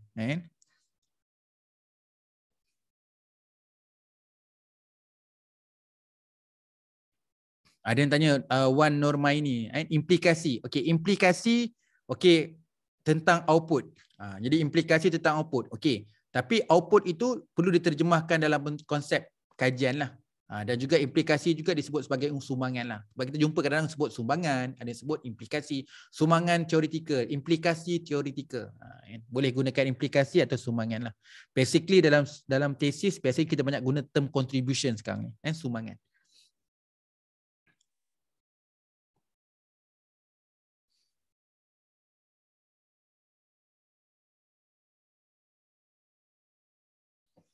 Sama lah macam tadi Haniza tanya nak tulis satu perenggan dalam research background. Boleh. Boleh gunakan template satu hari satu perenggan. Ha, boleh. Ha. Tapi template satu hari satu perenggan tu saya akan discuss dekat uh, bab literature. Kita kita ada plan dalam khusus kita cohort 19 ni. So kita hari ni nak buat template dalam bab satu. Okay. Jadi bagi saya bab satu ni penting. Ha, kita dah selesai dah bab satu. Minggu depan kita akan, esok sorry. Esok pembentangan eh. Ha, jadi cohort 19 boleh bentang Nanti saya bagi jadual, jadual pagi dan petang, siapa nak bentang, okey. Kemudian minggu depan kita akan masuk literature review. Ha, itu pun sangat penting. Apa nak kena tulis dalam literature review. Kemudian lepas raya haji tu, ha, saya akan masukkan template. Termasuk structured template penulisan satu perenggan tu. Ha, jadi kena ada kat situ. Sebab itu bagi saya asas tu di situ. Jadi bila kita dah faham tulis satu perenggan tu di dalam literature review dan kita tahu macam mana kaedah yang sama boleh tulis dalam research background dan juga di bahagian problem statement juga. Ha, eh. Boleh kalau tanya boleh tak saya nak beli satu perenggan teknik satu perenggan satu hari satu perenggan tu di bahagian chapter 1 boleh boleh. Cuma cuma uh. hari ni kalau nak cerita pasal tu uh, kita kata bukan bukan hari ni lah kita akan cerita tentang template menulis satu hari satu perenggan tu lebih detail sebab banyak contoh nak bagi. So kita akan bincang masih dekat minggu template literature review nanti. Betul. Ya saya. Uh, minta nak betulkan kalau ada saya tersilap uh, catat tadi doktor ada sebut tentang definisi term dengan okay. definisi konsep betul ke? Okey, betul. Okey. Uh, definisi definisi term ni bab satu, definisi, okay. definisi konsep bab dua. Betul. betul. betul. Uh, itulah saya nak confirmkan yang ni sebab saya ada buat catatan ni takut Sini, bila, bila bila dari saya nak jelaskan lagi lagi supaya lebih jelas kan. Hmm. Term hmm. maksud dia adalah bila cerita je tentang perkataan ini apa maksud dia dalam tesis kita ni? Ha, jadi supaya tak sesat lah. Jadi orang akan jumpa je perkataan ini jelas. Maksud perkataan ini dalam tesis ini apa? Itu namanya term. Kalau konsep, dia boleh jadi kepelbagaian. Ha, sebab tu kepelbagaian tu tak boleh tulis dalam bab satu. Nanti orang pening. Dia kena tulis dekat bab dua. Sebab untuk perkataan itu orang ni kata macam ni, orang kata macam tu, yang di sana kata macam ni. So ada macam-macam, ada pelbagai definisi. Jadi pelbagai definisi itu sesuai duduk dekat bab dua kerana bab dua adalah bahagian perbincangan. Jadi sesuailah ada 10 definisi ke 12 definisi, ah bincanglah di situ. Jadi sebenarnya kalau nak cerita bincang, duduk dekat literature review. Ha, bab satu bukan perbincangan. Dia adalah straightforward apa yang kita tulis inilah tesis kita, ini yang kita nak buat, ini yang kita nak fokus, ini janji kita. Ha, janji ya kena pakai janji. Pernyataan masalah itu janji. Setiap masalah perlu diselesaikan. Janji kita pada objektif. Setiap objektif perlu diselesaikan. Janji kita, kita kena tepati. Setiap definisi of term tu kita kena akur, kita kena buat, kita kena ikut. And kita janji dengan sumbangan kajian. Itulah yang kita jangkakan kita akan dapat. Itulah janji kita dalam skop. Ha, jadi bab satu di barat perjanjian. Jangan main-main dengan bab satu. Ha, kan? Bab dua tak apa. Itu adalah perbincangan. Ha, nak cerita apa yang berlaku status sekarang ni dalam konteks penyelidikan. Apa yang dibuat oleh orang akademia. Apa yang dibuat oleh industrial. Apa yang dibuat oleh kerajaan. Apa yang berlaku dalam apa-apa dokumen yang related. Ha, itu dekat literature review. Ha, jadi bab satu, apa yang ditulis bermaksud itu yang kita akan buat. Ha, bermaksud writing by action lah. Ha, menulis bukan sekadar tulis tapi kena buat. Ha, kan? Nampak, nampak macam seram sikit lah bila sebut agreement kan. Ha, perjanjian. Maksudnya tesis ini adalah satu perjanjian melalui apa yang ditulis dalam bab satu. Jika you tak dapat penuhi, maka tesis anda tidak lengkap. Ha, macam itulah bunyi dia. Kan? Sebab tu kena ubah, kena update. Bab dua kena update bab satu, bab tiga kena update. Sampai siap bab lima kena update balik bab satu. Sebab apa yang tertulis dalam bab satu kita dapat tunaikan.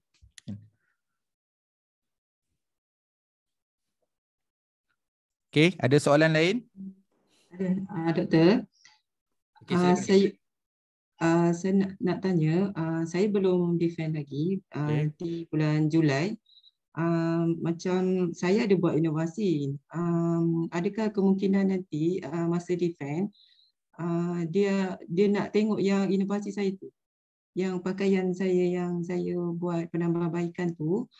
Um, uh, Maksudnya dia, dia nak masuk uh, nak tengok dari segi lakaran ke atau fizikal? Ah uh, tu saya nak tanya pendapat doktor. Kalau tanya saya, saya kalau tanya saya jalan selamat, kalau tanya saya of course lah nombor satu saya tanya supervisor lah. Tapi kalau tanya saya, kalau saya supervisor saya tak, tak payah buat uh, sekadar buat bentuk lakaran lah. Dia ada lakaran kan? Uh, lakaran um, maksudnya um, saya kena buat lakaran tu untuk tunjuk mas, untuk selamat. Macam, lah. macam, macam mana dia nak dia nak image, apa nak bayangkan benda tu macam mana nanti? Dalam bentuk gambar ke, lakaran ke? Okay. Sebab, uh, you kena ada lah sebab you tak bawa benda tu kan? Uh, dekat bahagian kan nanti you ada buat bahagian design kan uh, bahagian design mesti you ada ada lakaran awal ke ada gambar nak tunjukkan benda tu. Kalau tak ada gambar memang akan question orang akan tanya tu. Kalau sekurang-kurangnya ada lakaran ataupun reka bentuk apa uh, produk itu jadi dia akan nampaklah kat situ. Ha, jadi kalau tanya saya lakaran gambar perlu ada bagi mewakili fizikal produk kita tu semasa kita buat pembentangan. Kena ada lah. Dalam slide kita kena ada, dalam report kita pun kena ada.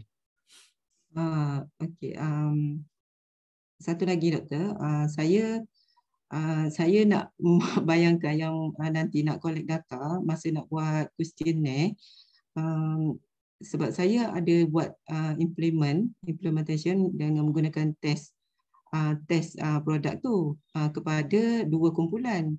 Masa hmm. saya buat questionnaire tu, uh, perlu ke saya kena uh, tunjuk benda tu? Uh, kena uh, memang wajib kena tunjuk uh, Uh, sebelum dia jawab questionnaire atau saya uh, masukkan benda tu dalam uh, contoh macam Google Form uh, untuk uh, dia senang jawab. Uh, maksudnya saya letak gambar saja. Uh, adakah itu memadai untuk uh, saya punya nak buat uh, questionnaire tu? Uh, Yang isu kat sini adalah faham. Dia faham ke dengan gambar saja? Oh. Uh, itu isu dia, faham atau tidak. Jadi kalau tanya saya, apa yang saya membayangkan lah. Ha, jadi sekurang-kurangnya uh, responden yang akan menjawab survey kita tu, soal sidik kita tu memahami uh, memahami apa sebenarnya idea dan juga design dan development kita tu. Uh, sama ada nak katakan faham tu dia orang guna, dia orang laksana. Jadi kena ada. Jadi apa apa apa keywords yang yang yang boleh kita katakan dia faham. Ha, kalau oh dia orang buat selama tiga bulan dia orang guna. Ha, itu itu bukti lah dia dah buat, dia dah laksana. Jadi apa bukti pelaksanaan yang bahawa dia orang faham? Mungkin dia ada buat kelas ke dengan dia orang, ha, mungkin ada dah ada sedikit ada buat apa uh, bengkel ke dengan dia orang. Ha, baru baru kita tahu bahawa benda ni ada perubahan. Ha, itu maksud saya. Kan macam mana you nak buktikan bahawa dia memahami, dia melalui sebab nama pun pelaksanaan kan? and implementation. Macam mana you nak buktikan aktiviti itu? Jadi dia orang faham dan dia orang jelas. Dia orang rasai apa benda yang kita laksanakan tu. Ha, tu maksud saya lah. Kan? Ha, tapi mungkin mungkin ada ada ada keadaan-keadaan tertentu mungkin waktu COVID itu kan mungkin kita dah hmm. tengok banyak-banyak research mungkin ada keedah-keedah yang lebih uh, lebih orang kata at least uh, kita panggil kita panggil minimum lah minimum requirement untuk melaksanakan implementation tu boleh dengan hanya menunjukkan gambar. Tapi in order to support dengan gambar tu ada yang kita panggil validity lah nak mengesahkan bahawa pelaksanaan itu uh, tidak tidak tidak bias ataupun sah. Ha, kan? Jadi kita kena ada ada effort lain dalam menyokong idea kita tadi lah. Konsep lah, idea asal kita gambar dan sebagainya. Okay. Tu concern penilai lah. Konsep penilai adalah aspek validity and reliability lah kalau dalam konteks tu. Kan? Okey, doktor. Terima kasih. Sama.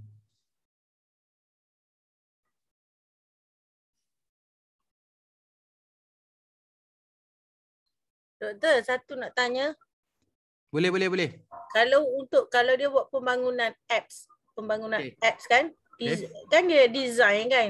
Okay, uh, dalam okay. kita takkan kita takkan letakkan uh, benda yang di storyboard tu kita letak terus ke dalam kita punya chapter 3? Saya letak kalau ada sebab penting lah sebab tanpa ada storyboard tu macam mana you nak alignkan dengan design tu? Uh, lepas tu satu lagi yang flow chart dia tu pun masukkan juga ke? Ya, semua kena masuk. Okay. Semualah, semualah. Bagi saya semua yang semua yang terlibat dalam proses kita uh, dalam pembangunan dan juga reka bentuk kita kena ada lah. Sebab, kan kita based pada literature merujuk Ahmad dalam proses reka bentuk perlu melibatkan beberapa elemen antaranya flowchart apa semua. Jadi you kena prove lah based on the argument dalam metodologi itu sendiri kan bila baca dalam buku research metodologi bila nak design atau nak membangunkan kan ada dia punya proses dia jadi you dah katakan dalam proses pembangunan ni melibatkan tiga fasa. Jadi kena beritahu lah fasa satu apa, fasa dua apa, fasa tiga apa. Ha, kan?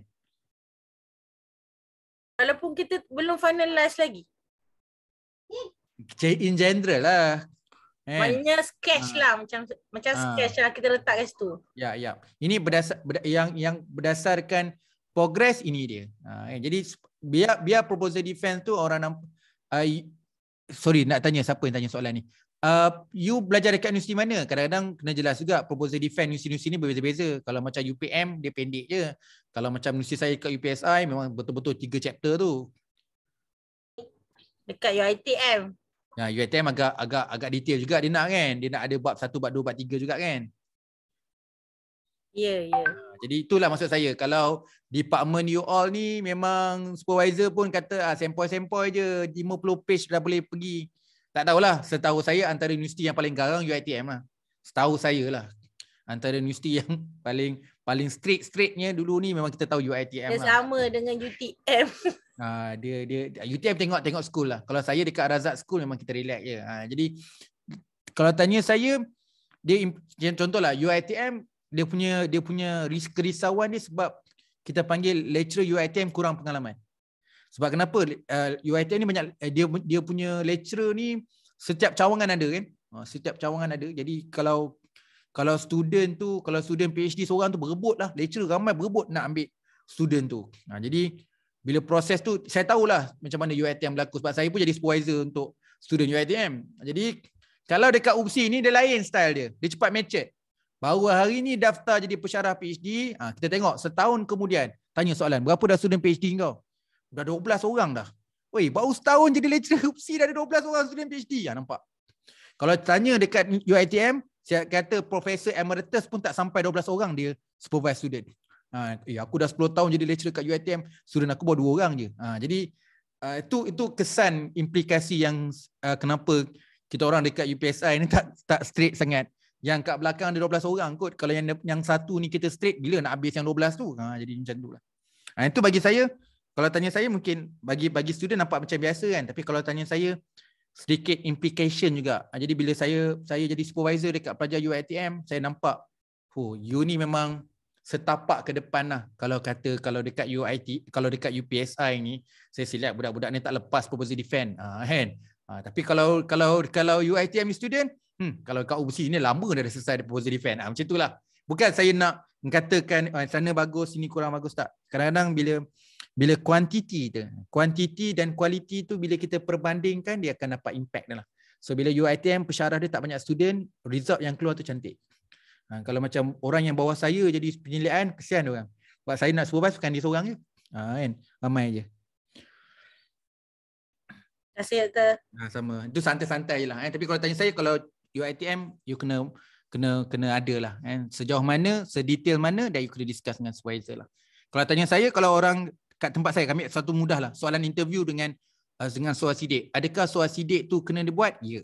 Adakah soalan interview dia kena buat? Ya. Tapi tak perlu disahkan lagi. Sekadar bau propose. Macam itulah. Scratchkan dulu uh, yang tu. Belum disahkan lagi. Baru baru orang kata kita boleh propose. Ha inilah rupa dia. Ha, eh.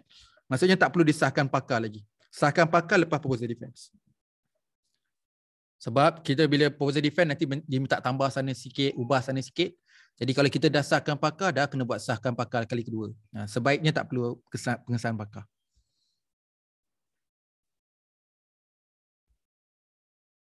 Okay. Kalau tak ada apa-apa, ada soalan? Okay, nanti saya video pagi tadi saya tak, tak, tak sempat. Kan saya saya tertidur tadi lepas dengan, dengan dengan sesi pagi tadi.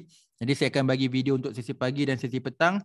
Uh, untuk peserta kohort, besok peluang eh. Uh, besok peluang untuk uh, buat pembentangan macam hari itu juga kan uh, jadi mungkin uh, kita bagi kelonggaran sedikit bagi yang belum lagi defend minggu lepas tapi kalau jadual tu kosong tengok malam kan kosong je kat situ kan uh, jadi kita boleh lah ambil slot uh, jadi saya selepas ni saya terus je buka dekat grup WhatsApp tu siapa nak bentang untuk besok jadi kita biarkan dulu petang ni untuk yang belum bentang Kan? Jadi yang belum bentang jangan takut. Bukan nak bentang banyak-banyak pun. Bentang sikit dia bentang in progress. Saya nak tunjukkan problem statement objektif pun boleh. Ha, jadi kalau sampai ke malam kosong je, ha, yang dah bentang minggu lepas boleh present lagi. Yang tu yang kita kita amalkan cara macam tu lah kan. Supaya kita bagi ruang pada yang yang belum bentang boleh bentangkan juga. Okey, ha, kalau tak ada apa-apa saya ucapkan terima kasih untuk perkongsian ini. Seronok saya ha, antara banyak banyak soalan hari ini sebenarnya. Ha, terima kasih. Kita pun nak ucap terima kasih yang menanyakan soalan. Uh, saya mohon maaf jika jawapan yang saya bagi itu kurang memuaskan. Uh, kadang-kadang apa yang saya jawab ni kadang-kadang tak dapat menepati apa yang diinginkan. Saya mohon maaf. apa yang sepatutnya saya cover dalam bab satu template saya dah cuba dah sebaik mungkin tapi jika ada keliru di mana-mana nanti boleh boleh WhatsApp dekat grup okey tanyalah soalan itu supaya supaya saya boleh bantu untuk penyelesaian itu uh, okey uh, jadi panjang kita nak menyiapkan tesis ni semoga dipermudahkanlah saya doakan yang terbaik buat semua dan supaya apa yang kita usahakan dalam penulisan bab satu khusus ni uh, di di dipermudahkan uh, dan dapat green light lah daripada supervisor bahawa supervisor nampak kita punya penambahbaikan dalam penulisan bab satu ni. Okey, terima kasih semua. Mohon maaf lagi sekali. Assalamualaikum, selamat sejahtera dan juga selamat petang. Okey, terima kasih semua. Terima kasih, Doktor.